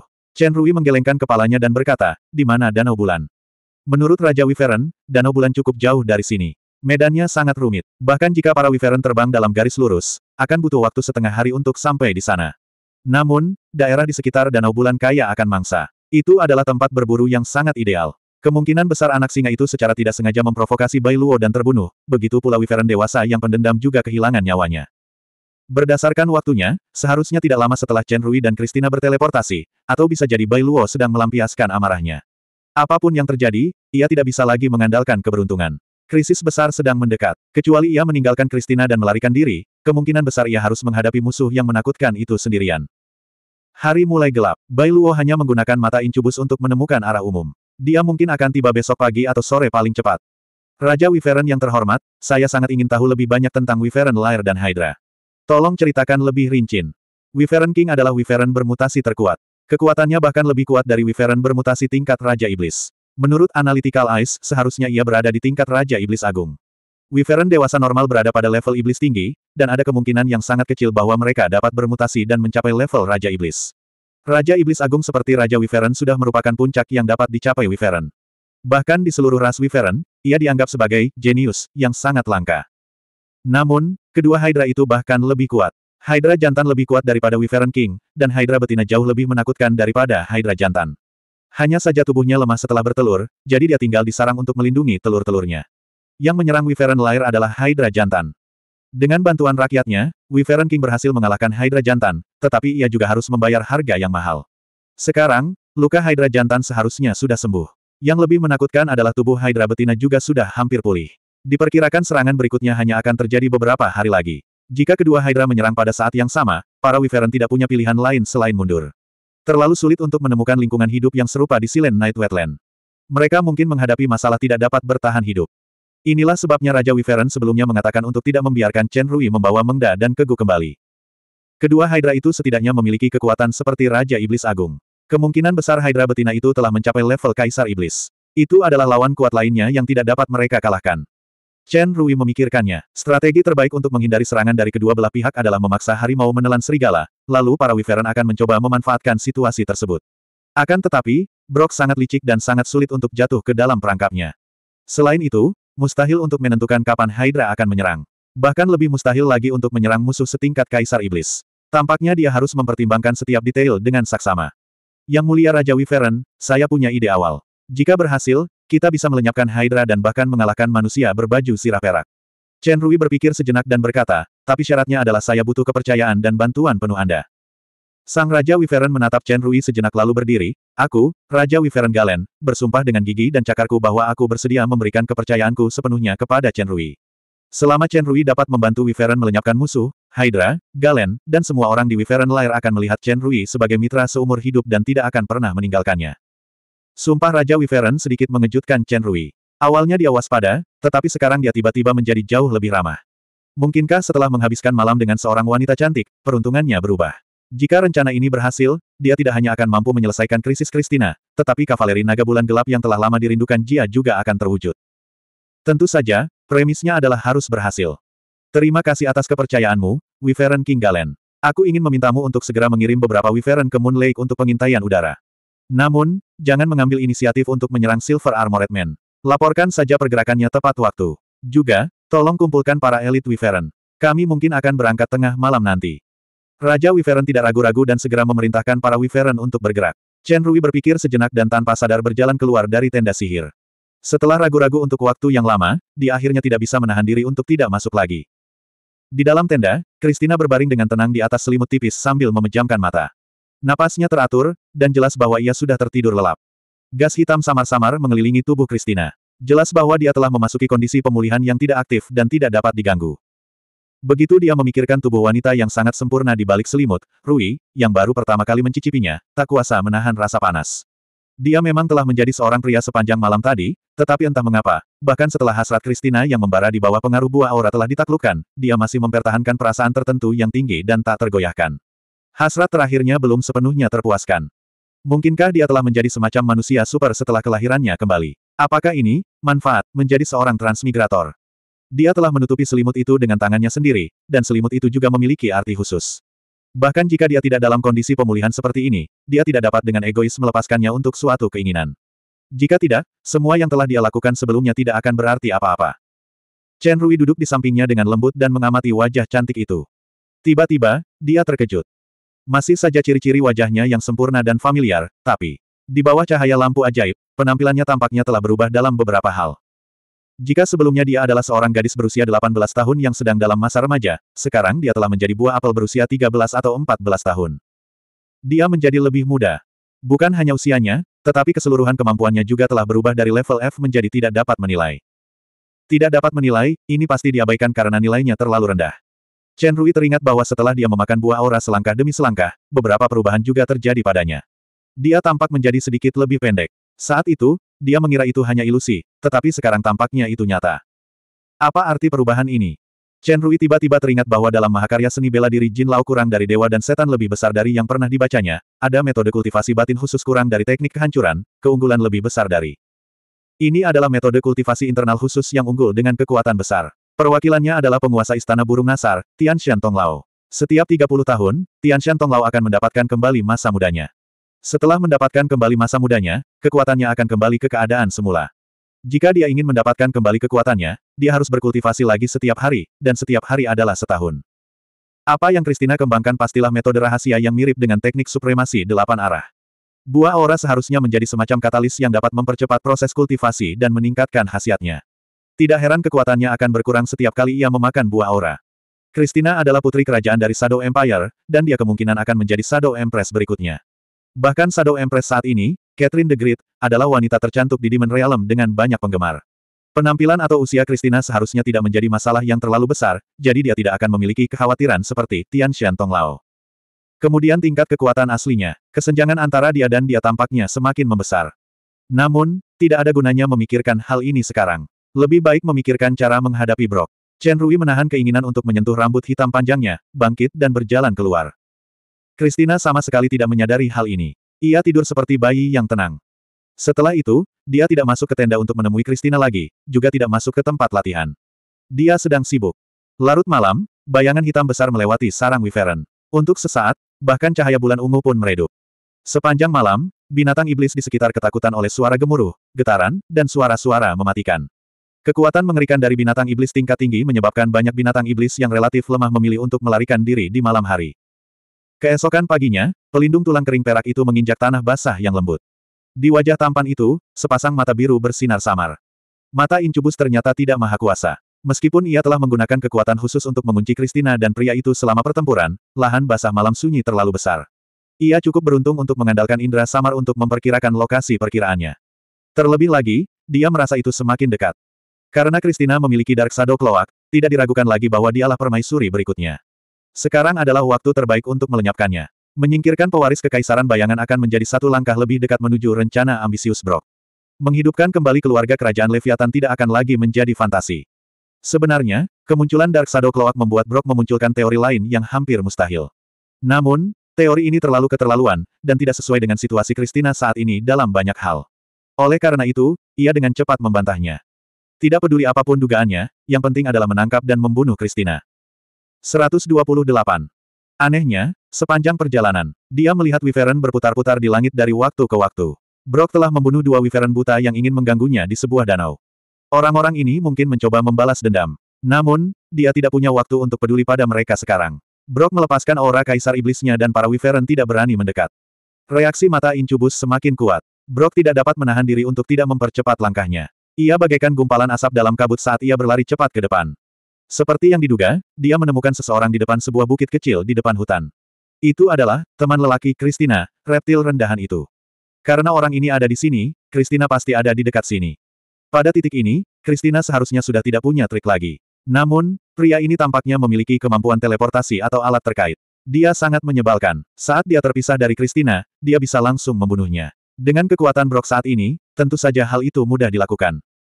Brock muncul di samping pria itu. Ia melambaikan tangannya. Tepat saat ia hendak menyerang, ia tiba-tiba merasa ada yang tidak beres. Seperti yang diduga, pria yang seharusnya berubah menjadi genangan darah dan daging itu aman dan sehat. Sebaliknya, tanah di sisi yang berlawanan berceceran karena serangan ini. Ilusi. Itu adalah ilusi yang cukup realistis. Bahkan sempat menipunya. Akan tetapi, dari reaksi mata Incubus, pria ini pasti ada di dekatnya. Pada saat itu, banyak gambar laki-laki muncul di sekelilingnya. Jenderal Brock sangat menghargai orang lemah sepertiku. Dia benar-benar menyergapku. Suara-suara terdengar dari segala arah seolah-olah puluhan orang berbicara pada saat yang sama. Penyergapan Brock gagal dan dia merasa terhina. Tatapan matanya dingin, semut yang ceroboh. Berani sekali kau memainkan trik murahan seperti itu di hadapanku yang memiliki mata incubus. Mata Brock bersinar terang. Lingkaran cahaya biru tua menyebar dengan Brock sebagai pusatnya. Ke mana pun ia lewat, ilusi-ilusi itu menghilang satu demi satu. Hanya pria yang terkejut 30 meter di depannya yang tersisa. Kamu melebih-lebihkan dirimu sendiri. Brock mencibir. Tiba-tiba, dia mengerutkan kening. Ilusi, yang seharusnya dihilangkan oleh Eye of Incubus muncul lagi. Lingkaran sihir ilusi. Trik kecil ini menarik, tapi tetap saja tidak ada gunanya. Brock melangkah maju perlahan. Setiap kali melangkah, tanah dalam jarak 10 meter mulai bergetar dan bergejolak aneh. Setelah ilusi itu menghilang, ilusi itu tidak muncul lagi. Chen Rui menghela napas dalam-dalam, menghadapi kekuatan Kaisar Iblis, kekuatanku masih terlalu lemah. Prasasti naga, mirror image, dan echo, yang kubuat dengan susah payah mudah sekali retak. Prasasti Chen Rui dibuat menggunakan analisis mendalam. Prasasti itu hanya bisa bertahan dalam waktu singkat dan efeknya cukup terbatas. Prasasti itu dianggap sebagai prasasti naga terlemah di dunia. Ini karena prasasti ini digunakan oleh naga, dan naga yang baru lahir harus memiliki tingkat Raja Iblis. Tuan Brock, Chen Rui tahu bahwa Brock pasti akan membunuhnya setelah dia benar-benar menghilangkan prasasti cermin, jadi dia berbicara terlebih dahulu, saya tidak berniat terlibat dalam pertempuran antara Anda dan Christina. Saya hanya tawanan yang ditangkapnya. Bisakah Anda mengampuni nyawa saya? Apakah kamu tidak memiliki kekuatan untuk teleportasi? Sekarang Christina tidak ada, mengapa kamu tidak memilih untuk melarikan diri sendiri? Saat Brock berbicara, kekuatan di bawah kakinya tidak berhenti. Dalam sekejap mata, semua prasasti hancur, hanya menyisakan Chen Rui di sisi yang berlawanan. Tuan, beginilah adanya. Chen Rui dilirik oleh mata Brock yang muram. Perasaan, seekor katak yang ditatap oleh ular berbisa, muncul lagi di hatinya.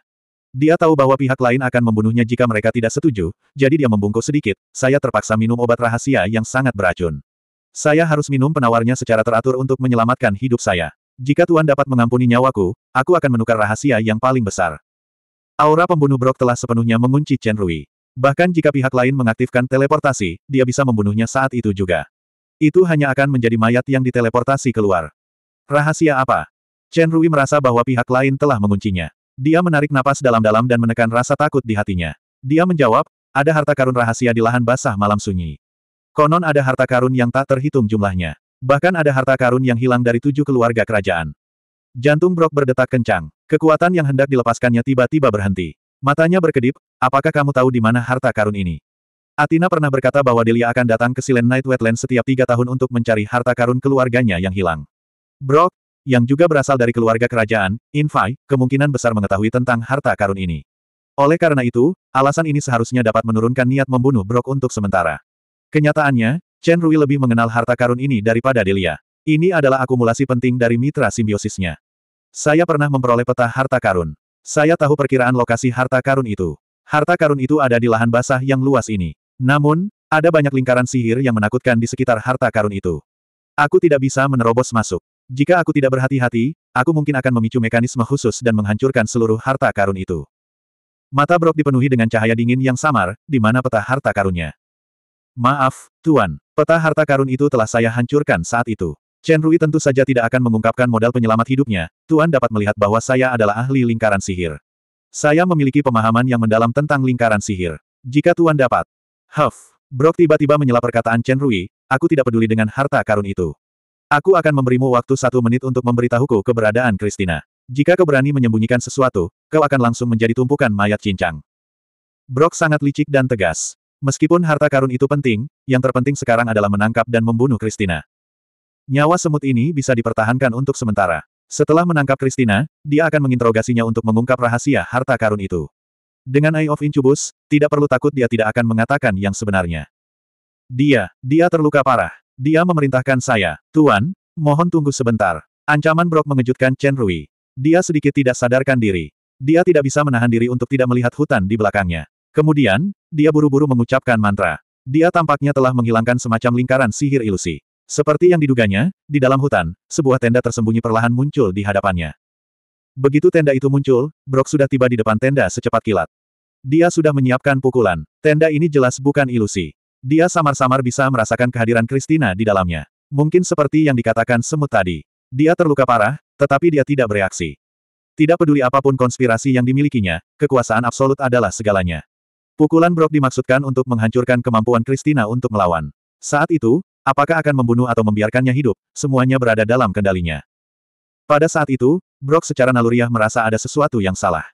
Kehidupan di dalam tenda itu tampaknya tidak terkunci oleh mata incubus. Mungkinkah itu Christina? Pikiran itu hanya terlintas di benaknya. Tepat saat dia menarik kembali kekuatannya, terdengar ledakan keras. Tenda itu tiba-tiba meledak. Seluruh hutan berguncang. Pohon-pohon di dekatnya semuanya patah. Ini jelas bukan disebabkan oleh pukulan Brock.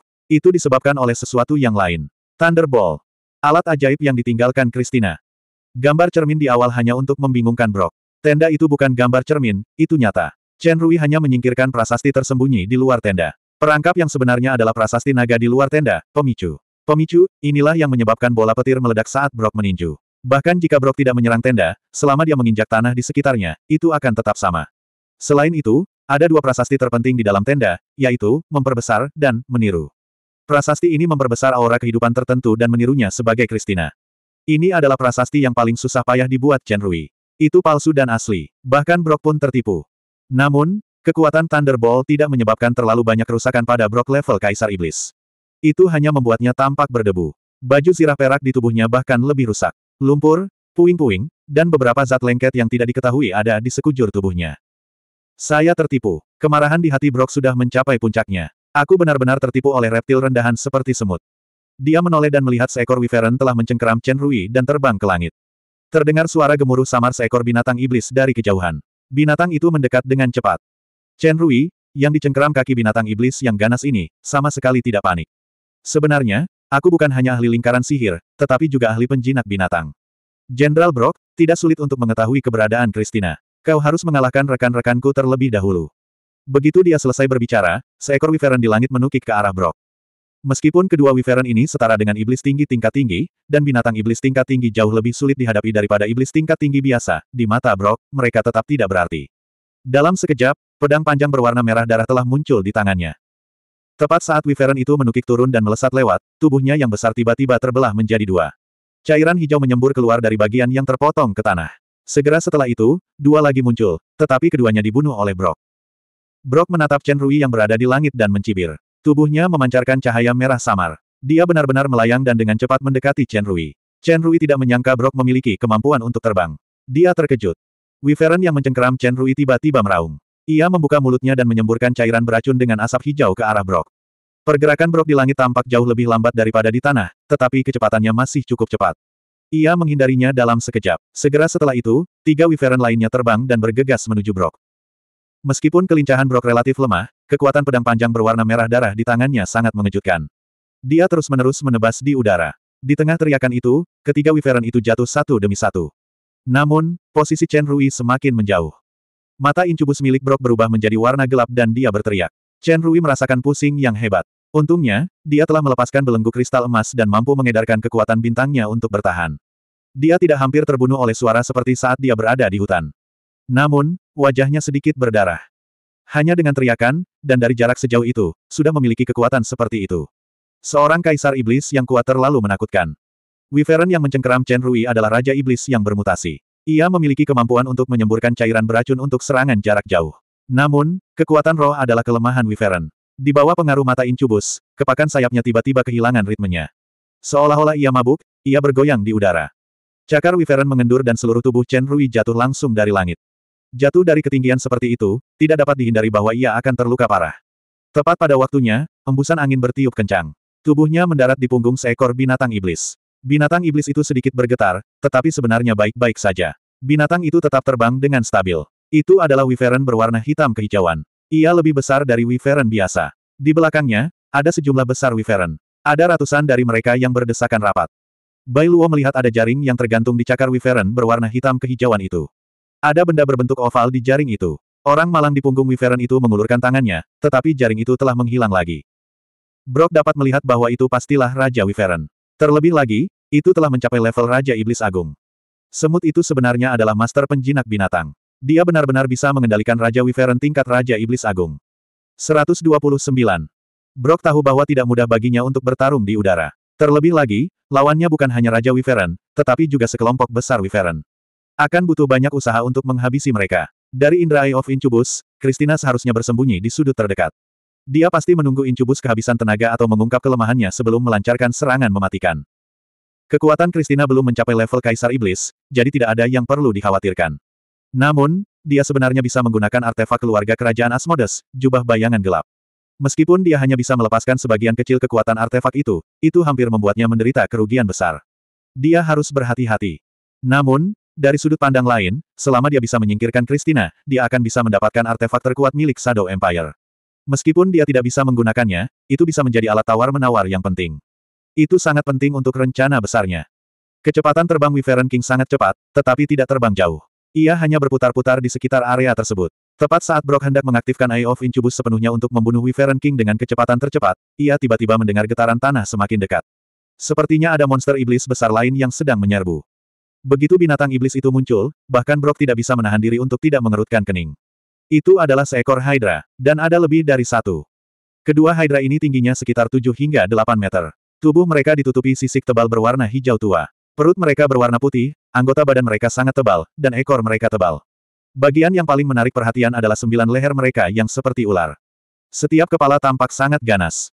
Yang sedikit lebih besar dengan sisik yang lebih gelap adalah yang betina, sedangkan yang sedikit lebih kecil adalah yang jantan. Aura kedua binatang raksasa ini bahkan lebih kuat dari Wyvern King, terutama Hydra betina, yang sudah mendekati level Demon Emperor. Lebih jauh lagi, kekuatan binatang iblis itu melampaui Demon biasa.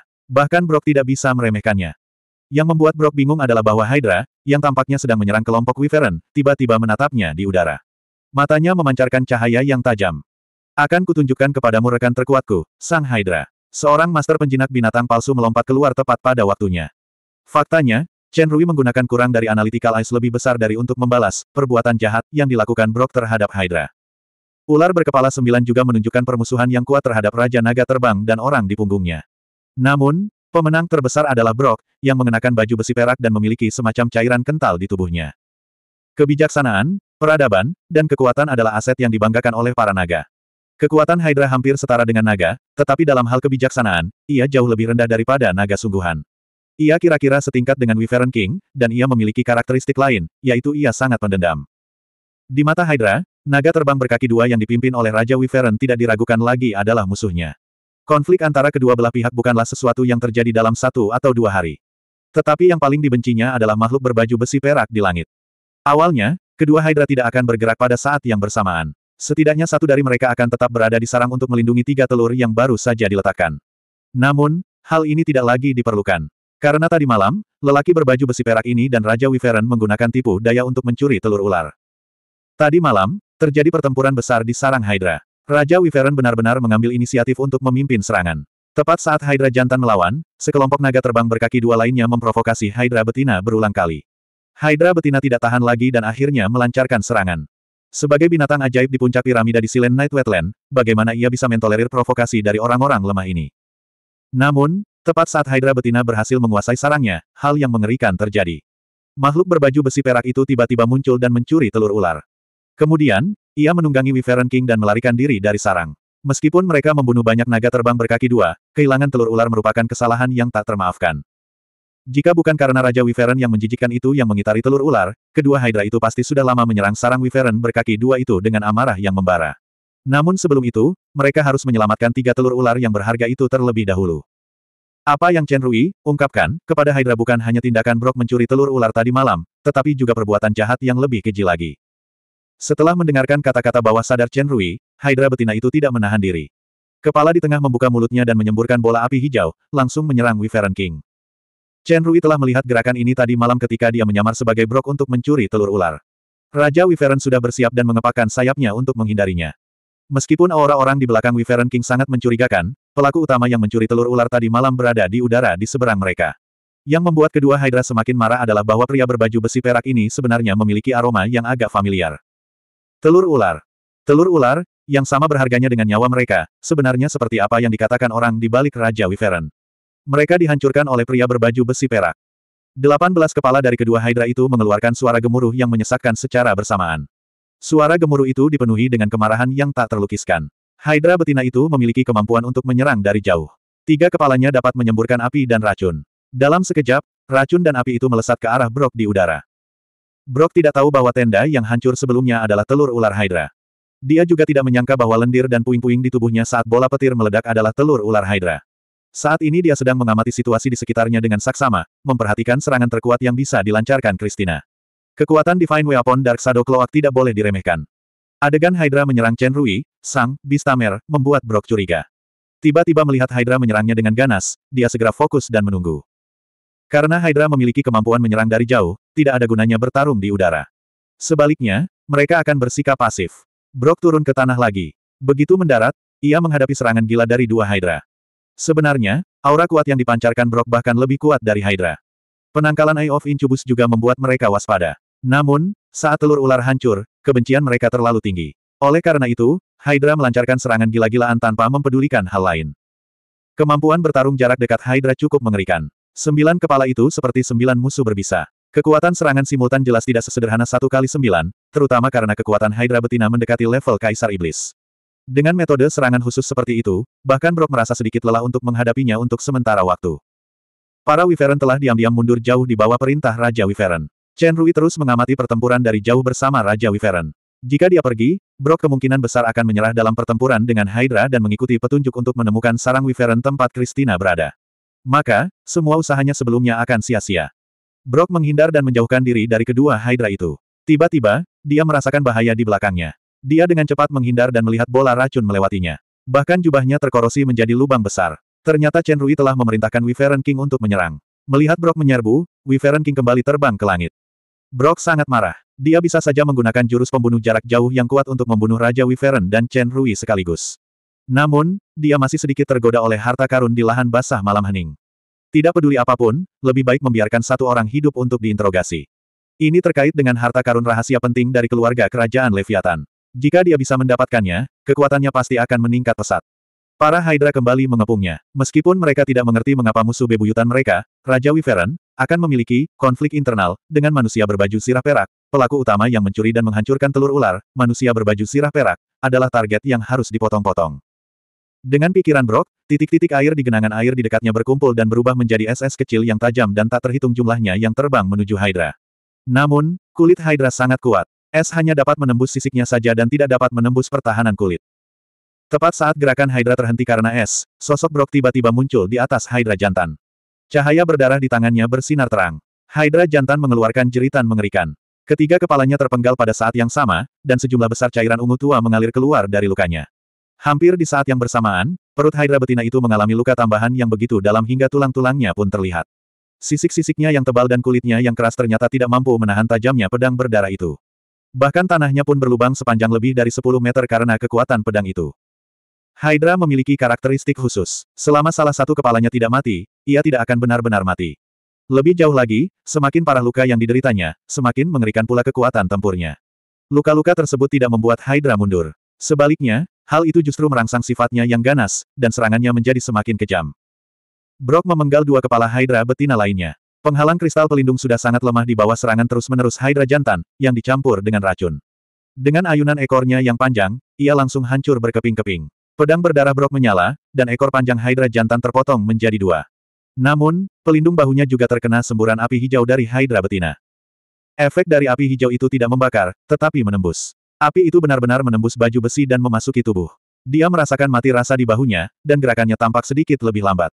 Jelas, dia diracuni. Saat dia teralihkan, dia menderita sapuan ekor yang kuat dari Hydra betina. Dadanya terasa sesak, dan baju besi di punggungnya sudah sangat cacat. Dia berbalik dan menebas terus-menerus dengan marah. Dalam ratapan, Hydra betina itu hanya memiliki empat kepala yang tersisa. Brock, seorang kaisar iblis yang bermartabat, benar-benar menderita kekalahan di tangan dua binatang iblis yang belum mencapai tingkat kaisar iblis yang dikendalikan oleh seorang penjinak binatang. Dia sangat marah. Dia tidak peduli bahwa Christina mungkin sedang mengawasi dan menyergapnya di samping. Sambil meraung, dia tidak lagi menahan kekuatannya. Mata birunya tiba-tiba berubah menjadi hitam. Chen Rui hanya merasakan langit di atas lahan basah malam sunyi tiba-tiba menjadi gelap.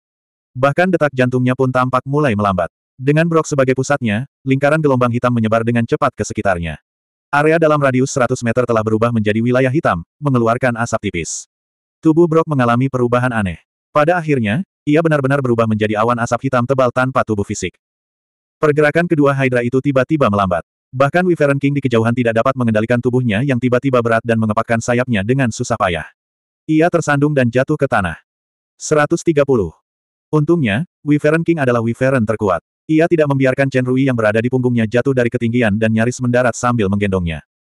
Begitu mereka mendarat, Chen Rui merasa lebih akrab. Seperti yang diharapkan, gravitasi berubah. Gravitasi di wilayah hitam ini sekitar empat kali lipat dari gravitasi normal. Tubuh Hydra sangat besar, jadi ia tidak dapat beradaptasi dengan wilayah tipe gravitasi ini. Pergerakannya menjadi semakin sulit. Hydra betina adalah yang terkuat dan memiliki daya tahan terkuat terhadap wilayah hitam. Ia membuka mulutnya dan ingin memuntahkan api hijau atau racun. Namun, entah mengapa, setelah meludah beberapa kali, tidak ada racun atau api sama sekali. Tawa dingin Brock berasal dari asap hitam. Sejumlah besar asap mulai menyebar ke arah Hydra. Serangan Hydra itu hanya mampu membubarkan asap hitam. Asap hitam itu berkumpul lagi dalam sekejap, dan semakin banyak asap hitam mengelilingi kedua Hydra itu. Asap hitam itu seakan memiliki kehidupannya sendiri. Asap itu menyelimuti luka-luka Hydra dan terus-menerus masuk. Hydra jantan yang sedikit lebih lemah mengeluarkan teriakan melengking. Daging dan darahnya tampak tersedot keluar perlahan-lahan. Tubuhnya yang besar perlahan-lahan menyusut dan akhirnya menjadi kantung kulit kosong. Melihat hal ini, Hydra betina terkejut dan marah. Namun, ia tidak punya pilihan selain menggunakan kekuatannya untuk melawan gravitasi dan menyebarkan asap hitam demi menyelamatkan hidupnya. Namun, kekuatannya dengan cepat melemah. Asap hitam di sekitarnya semakin tebal. Kecepatan berkumpulnya asap jauh melebihi kecepatan penyebarannya. Jelas bahwa hanya masalah waktu sebelum asap itu mengikuti jejak Hydra jantan. Memang ada jurang pemisah yang tidak dapat diatasi antara mendekati level Kaisar Iblis dan mencapai level Kaisar Iblis. Bahkan binatang ajaib yang kuat seperti Hydra tidak sebanding dengan Brock. Wilayah gravitasi masih baik-baik saja, tetapi asap hitam yang berubah menjadi Brock agak menakutkan. Serangannya tidak hanya tidak efektif, tetapi dia juga bisa melahap daging dan darah seperti iblis. Chen Rui diam-diam terkejut. Dia buru-buru memerintahkan Raja Wyvern untuk melarikan diri sementara dia diam-diam menyelinap pergi ke arah lain. Asap di depannya tiba-tiba menjadi lebih tebal. Awan asap hitam muncul dari udara tipis dan menghalangi jalan Chen Rui. Di dalam asap aneh yang tidak memiliki tubuh fisik, sepasang mata hitam pembunuh dapat terlihat melotot ke arahnya. Master Bistamer, Master Magic Circle. Bagus sekali. Tampaknya Christina berhasil menangkap tawanan yang mengesankan. Aku harus mengingatkanmu bahwa di wilayah sucubus ini, bukan saja semua serangan tidak efektif terhadapku, tapi kamu juga tidak bisa menggunakan kemampuan khusus atau alat sihir apa pun. Chen Rui tidak menyangka Brock memiliki wilayah incubus, yang melarang kemampuan dan item sihir. Tidak heran bahkan Hydra tidak dapat menggunakan kemampuan serangan jarak jauhnya. Dia diam-diam mencoba bola petir, yang tersisa, dan tidak ada reaksi. Dia terkejut. Sebenarnya, Brock tidak mengatakan yang sebenarnya. Selama kekuatan seseorang melampaui Brock, orang tersebut tidak akan dibatasi oleh kemampuan dan dapat menggunakan kemampuan. Jika seseorang bisa, maka orang tersebut tidak akan dibatasi. Brock tidak mengatakan yang sebenarnya. Jika seseorang lebih kuat dari Brock, dia akan, tidak akan. Dia akan, dan akan, dia, Rube, dan tidak akan mampu, dan akan oleh iblis. A, dan A, dan Chen, A, akan. Aku tidak akan melakukan kesalahan yang sama seperti terakhir kali. Kau juga tidak perlu memberitahuku tentang Christina dan harta karun itu. Sebelum kau berubah menjadi tengkorak, aku akan mengekstrak semua isi otakmu. Chen Rui merasakan bahaya yang kuat. Dia menatap mata hitam dalam asap hitam dan merasakan dunia berputar. Dia terbungkus oleh asap. Mata incubus tingkat kaisar iblis milik Brock sangat kuat. Kekuatannya berkali-kali lipat lebih kuat dari Delia. Kekuatannya langsung menghancurkan pertahanan Chen Rui dan menembus jantungnya. Dapatkan situasi dan lokasi Christina. Dapatkan rahasia peta harta karun Silen Night Wetland. Dia bahkan bisa memperoleh keahlian rahasia Bistamer. Akhirnya, dia akan menghisap daging dan darah orang ini hingga kering. Jika bukan karena tujuan-tujuan ini, orang ini akan terbunuh oleh jurus rahasia itu saat ia menunggangi Wyvern King di udara. Brock punya rencana yang bagus. Namun, Ketika mata Incubus, yang paling dibanggakannya, memasuki kesadaran Chen Rui, terjadi perubahan besar. Tidak ada Christina, tidak ada peta harta karun, dan tidak ada keterampilan rahasia. Yang ada hanya, merah, panas sekali, kekuatan yang dapat menghancurkan segalanya. Itulah tiga perasaan yang Brock dapatkan dari kesadaran Chen Rui. Hanya tiga perasaan itu saja. Sebenarnya, tekad Chen Rui tidak terfokus pada pertahanan. Sebaliknya, ia berusaha sekuat tenaga untuk mengonfirmasi petunjuk konversi sistem super. Ini adalah pengalaman yang ia peroleh dari pertarungan melawan mata incubus milik Delia. Meskipun ia tidak tahu apakah itu efektif melawan Brock tingkat Kaisar Iblis, ia hanya bisa mengambil risiko dalam situasi yang mendesak. Sekarang, tampaknya dia telah membuat taruhan yang tepat. Tanpa menunggu Brock bereaksi, kekuatan penghancur yang mengerikan itu langsung meluas hingga satu triliun kali lipat. Matanya dipenuhi dengan warna merah menyala yang mengerikan. Brock hanya merasakan kekuatan di tubuhnya mengalir keluar seperti air. Itu seperti daging segar yang dikirim ke kandang binatang buas dan dilahap habis-habisan. Ketika dia menariknya kembali dengan sekuat tenaga, kekuatan penghancur yang mengerikan itu terpantul kembali ke matanya. Matanya yang hitam pekat langsung terpantul menjadi merah menyala. Di tengah teriakan itu, asap hitam berubah menjadi entitas humanoid.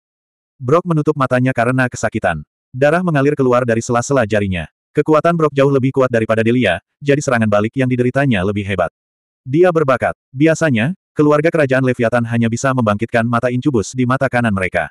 Namun, kedua matanya adalah mata incubus. Dia bisa melepaskan wilayah hitam yang kuat. Dia tidak takut dengan serangan fisik apa pun dan bahkan bisa melahap roh dan daging. Dia dikenal sebagai pemilik mata terkuat dari keluarga kerajaan Infai. Namun, hari ini, dia menghadapi lawan yang bagaikan semut yang benar-benar mampu melakukan serangan balik terhadap mata terkuat keluarga kerajaan Leviathan. Kemampuan keluarga kerajaan macam apa ini? Bahkan, mata kejahatan, milik keluarga kerajaan Belfegor, yang dikenal sebagai mata kiri Dewa Iblis, tidak mungkin memiliki kekuatan seperti itu. Chen Rui awalnya bingung. Tiba-tiba, dia merasa matanya menyala dan dia kembali ke lingkungan asalnya.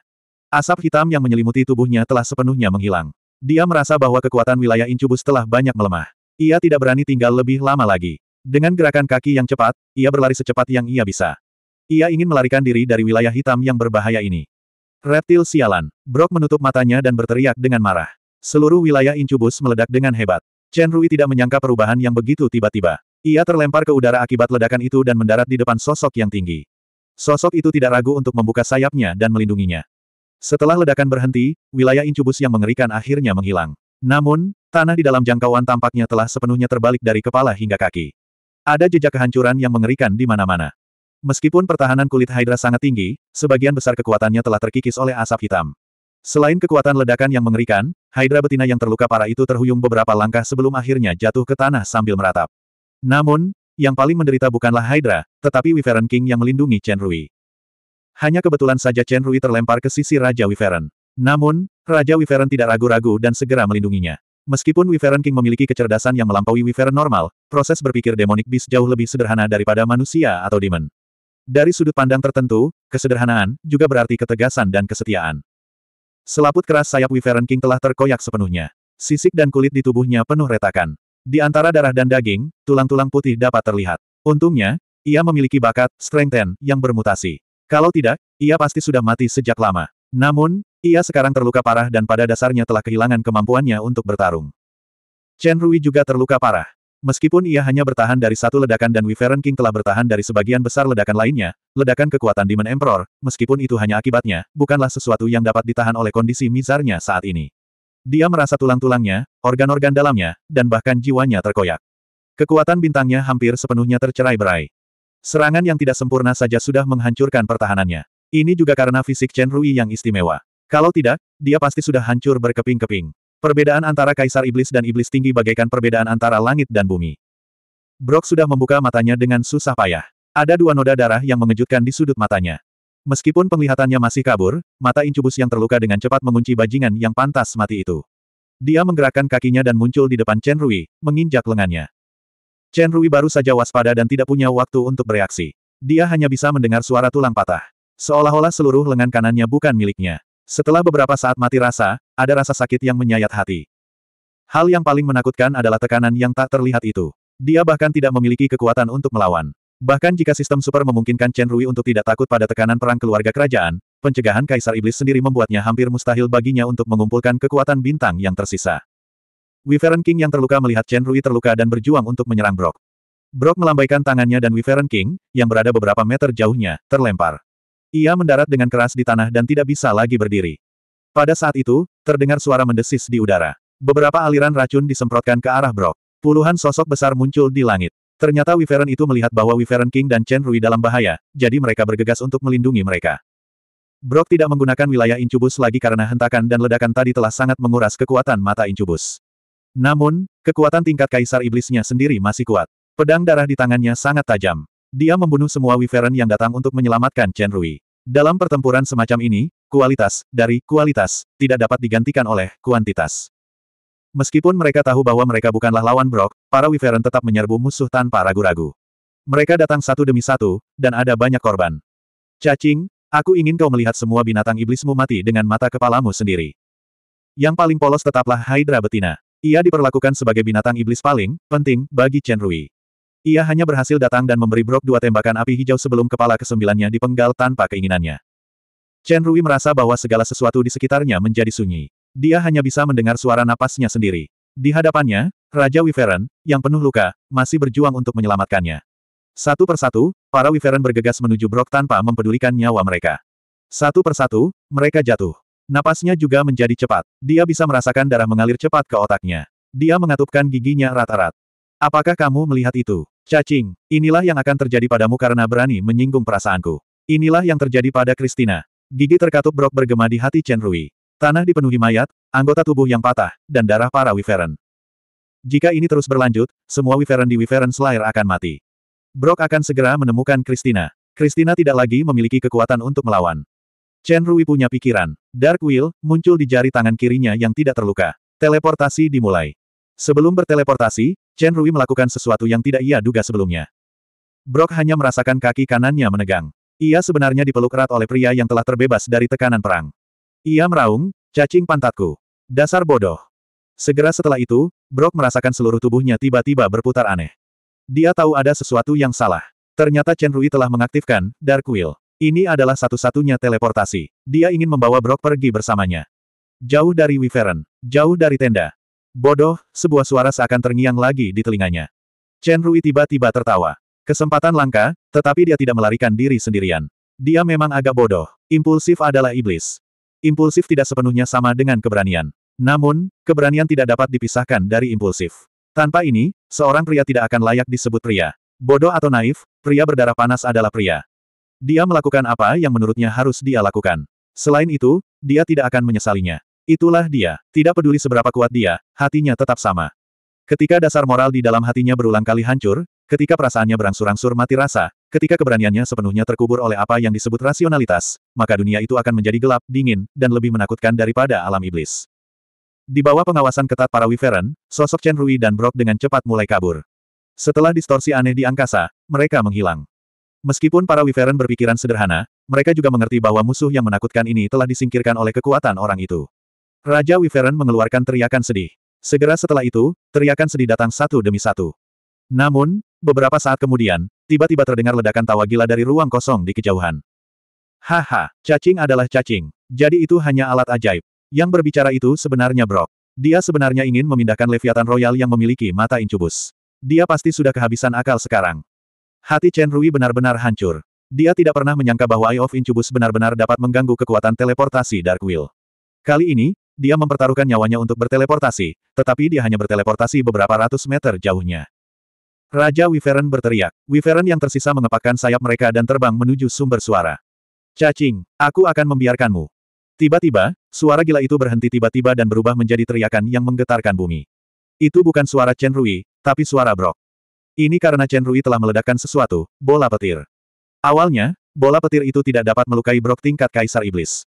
Namun, bola petir terakhir ini diledakkan bersama dengan sebuah botol. Botol berisi cairan hijau muda. Racun Paglio.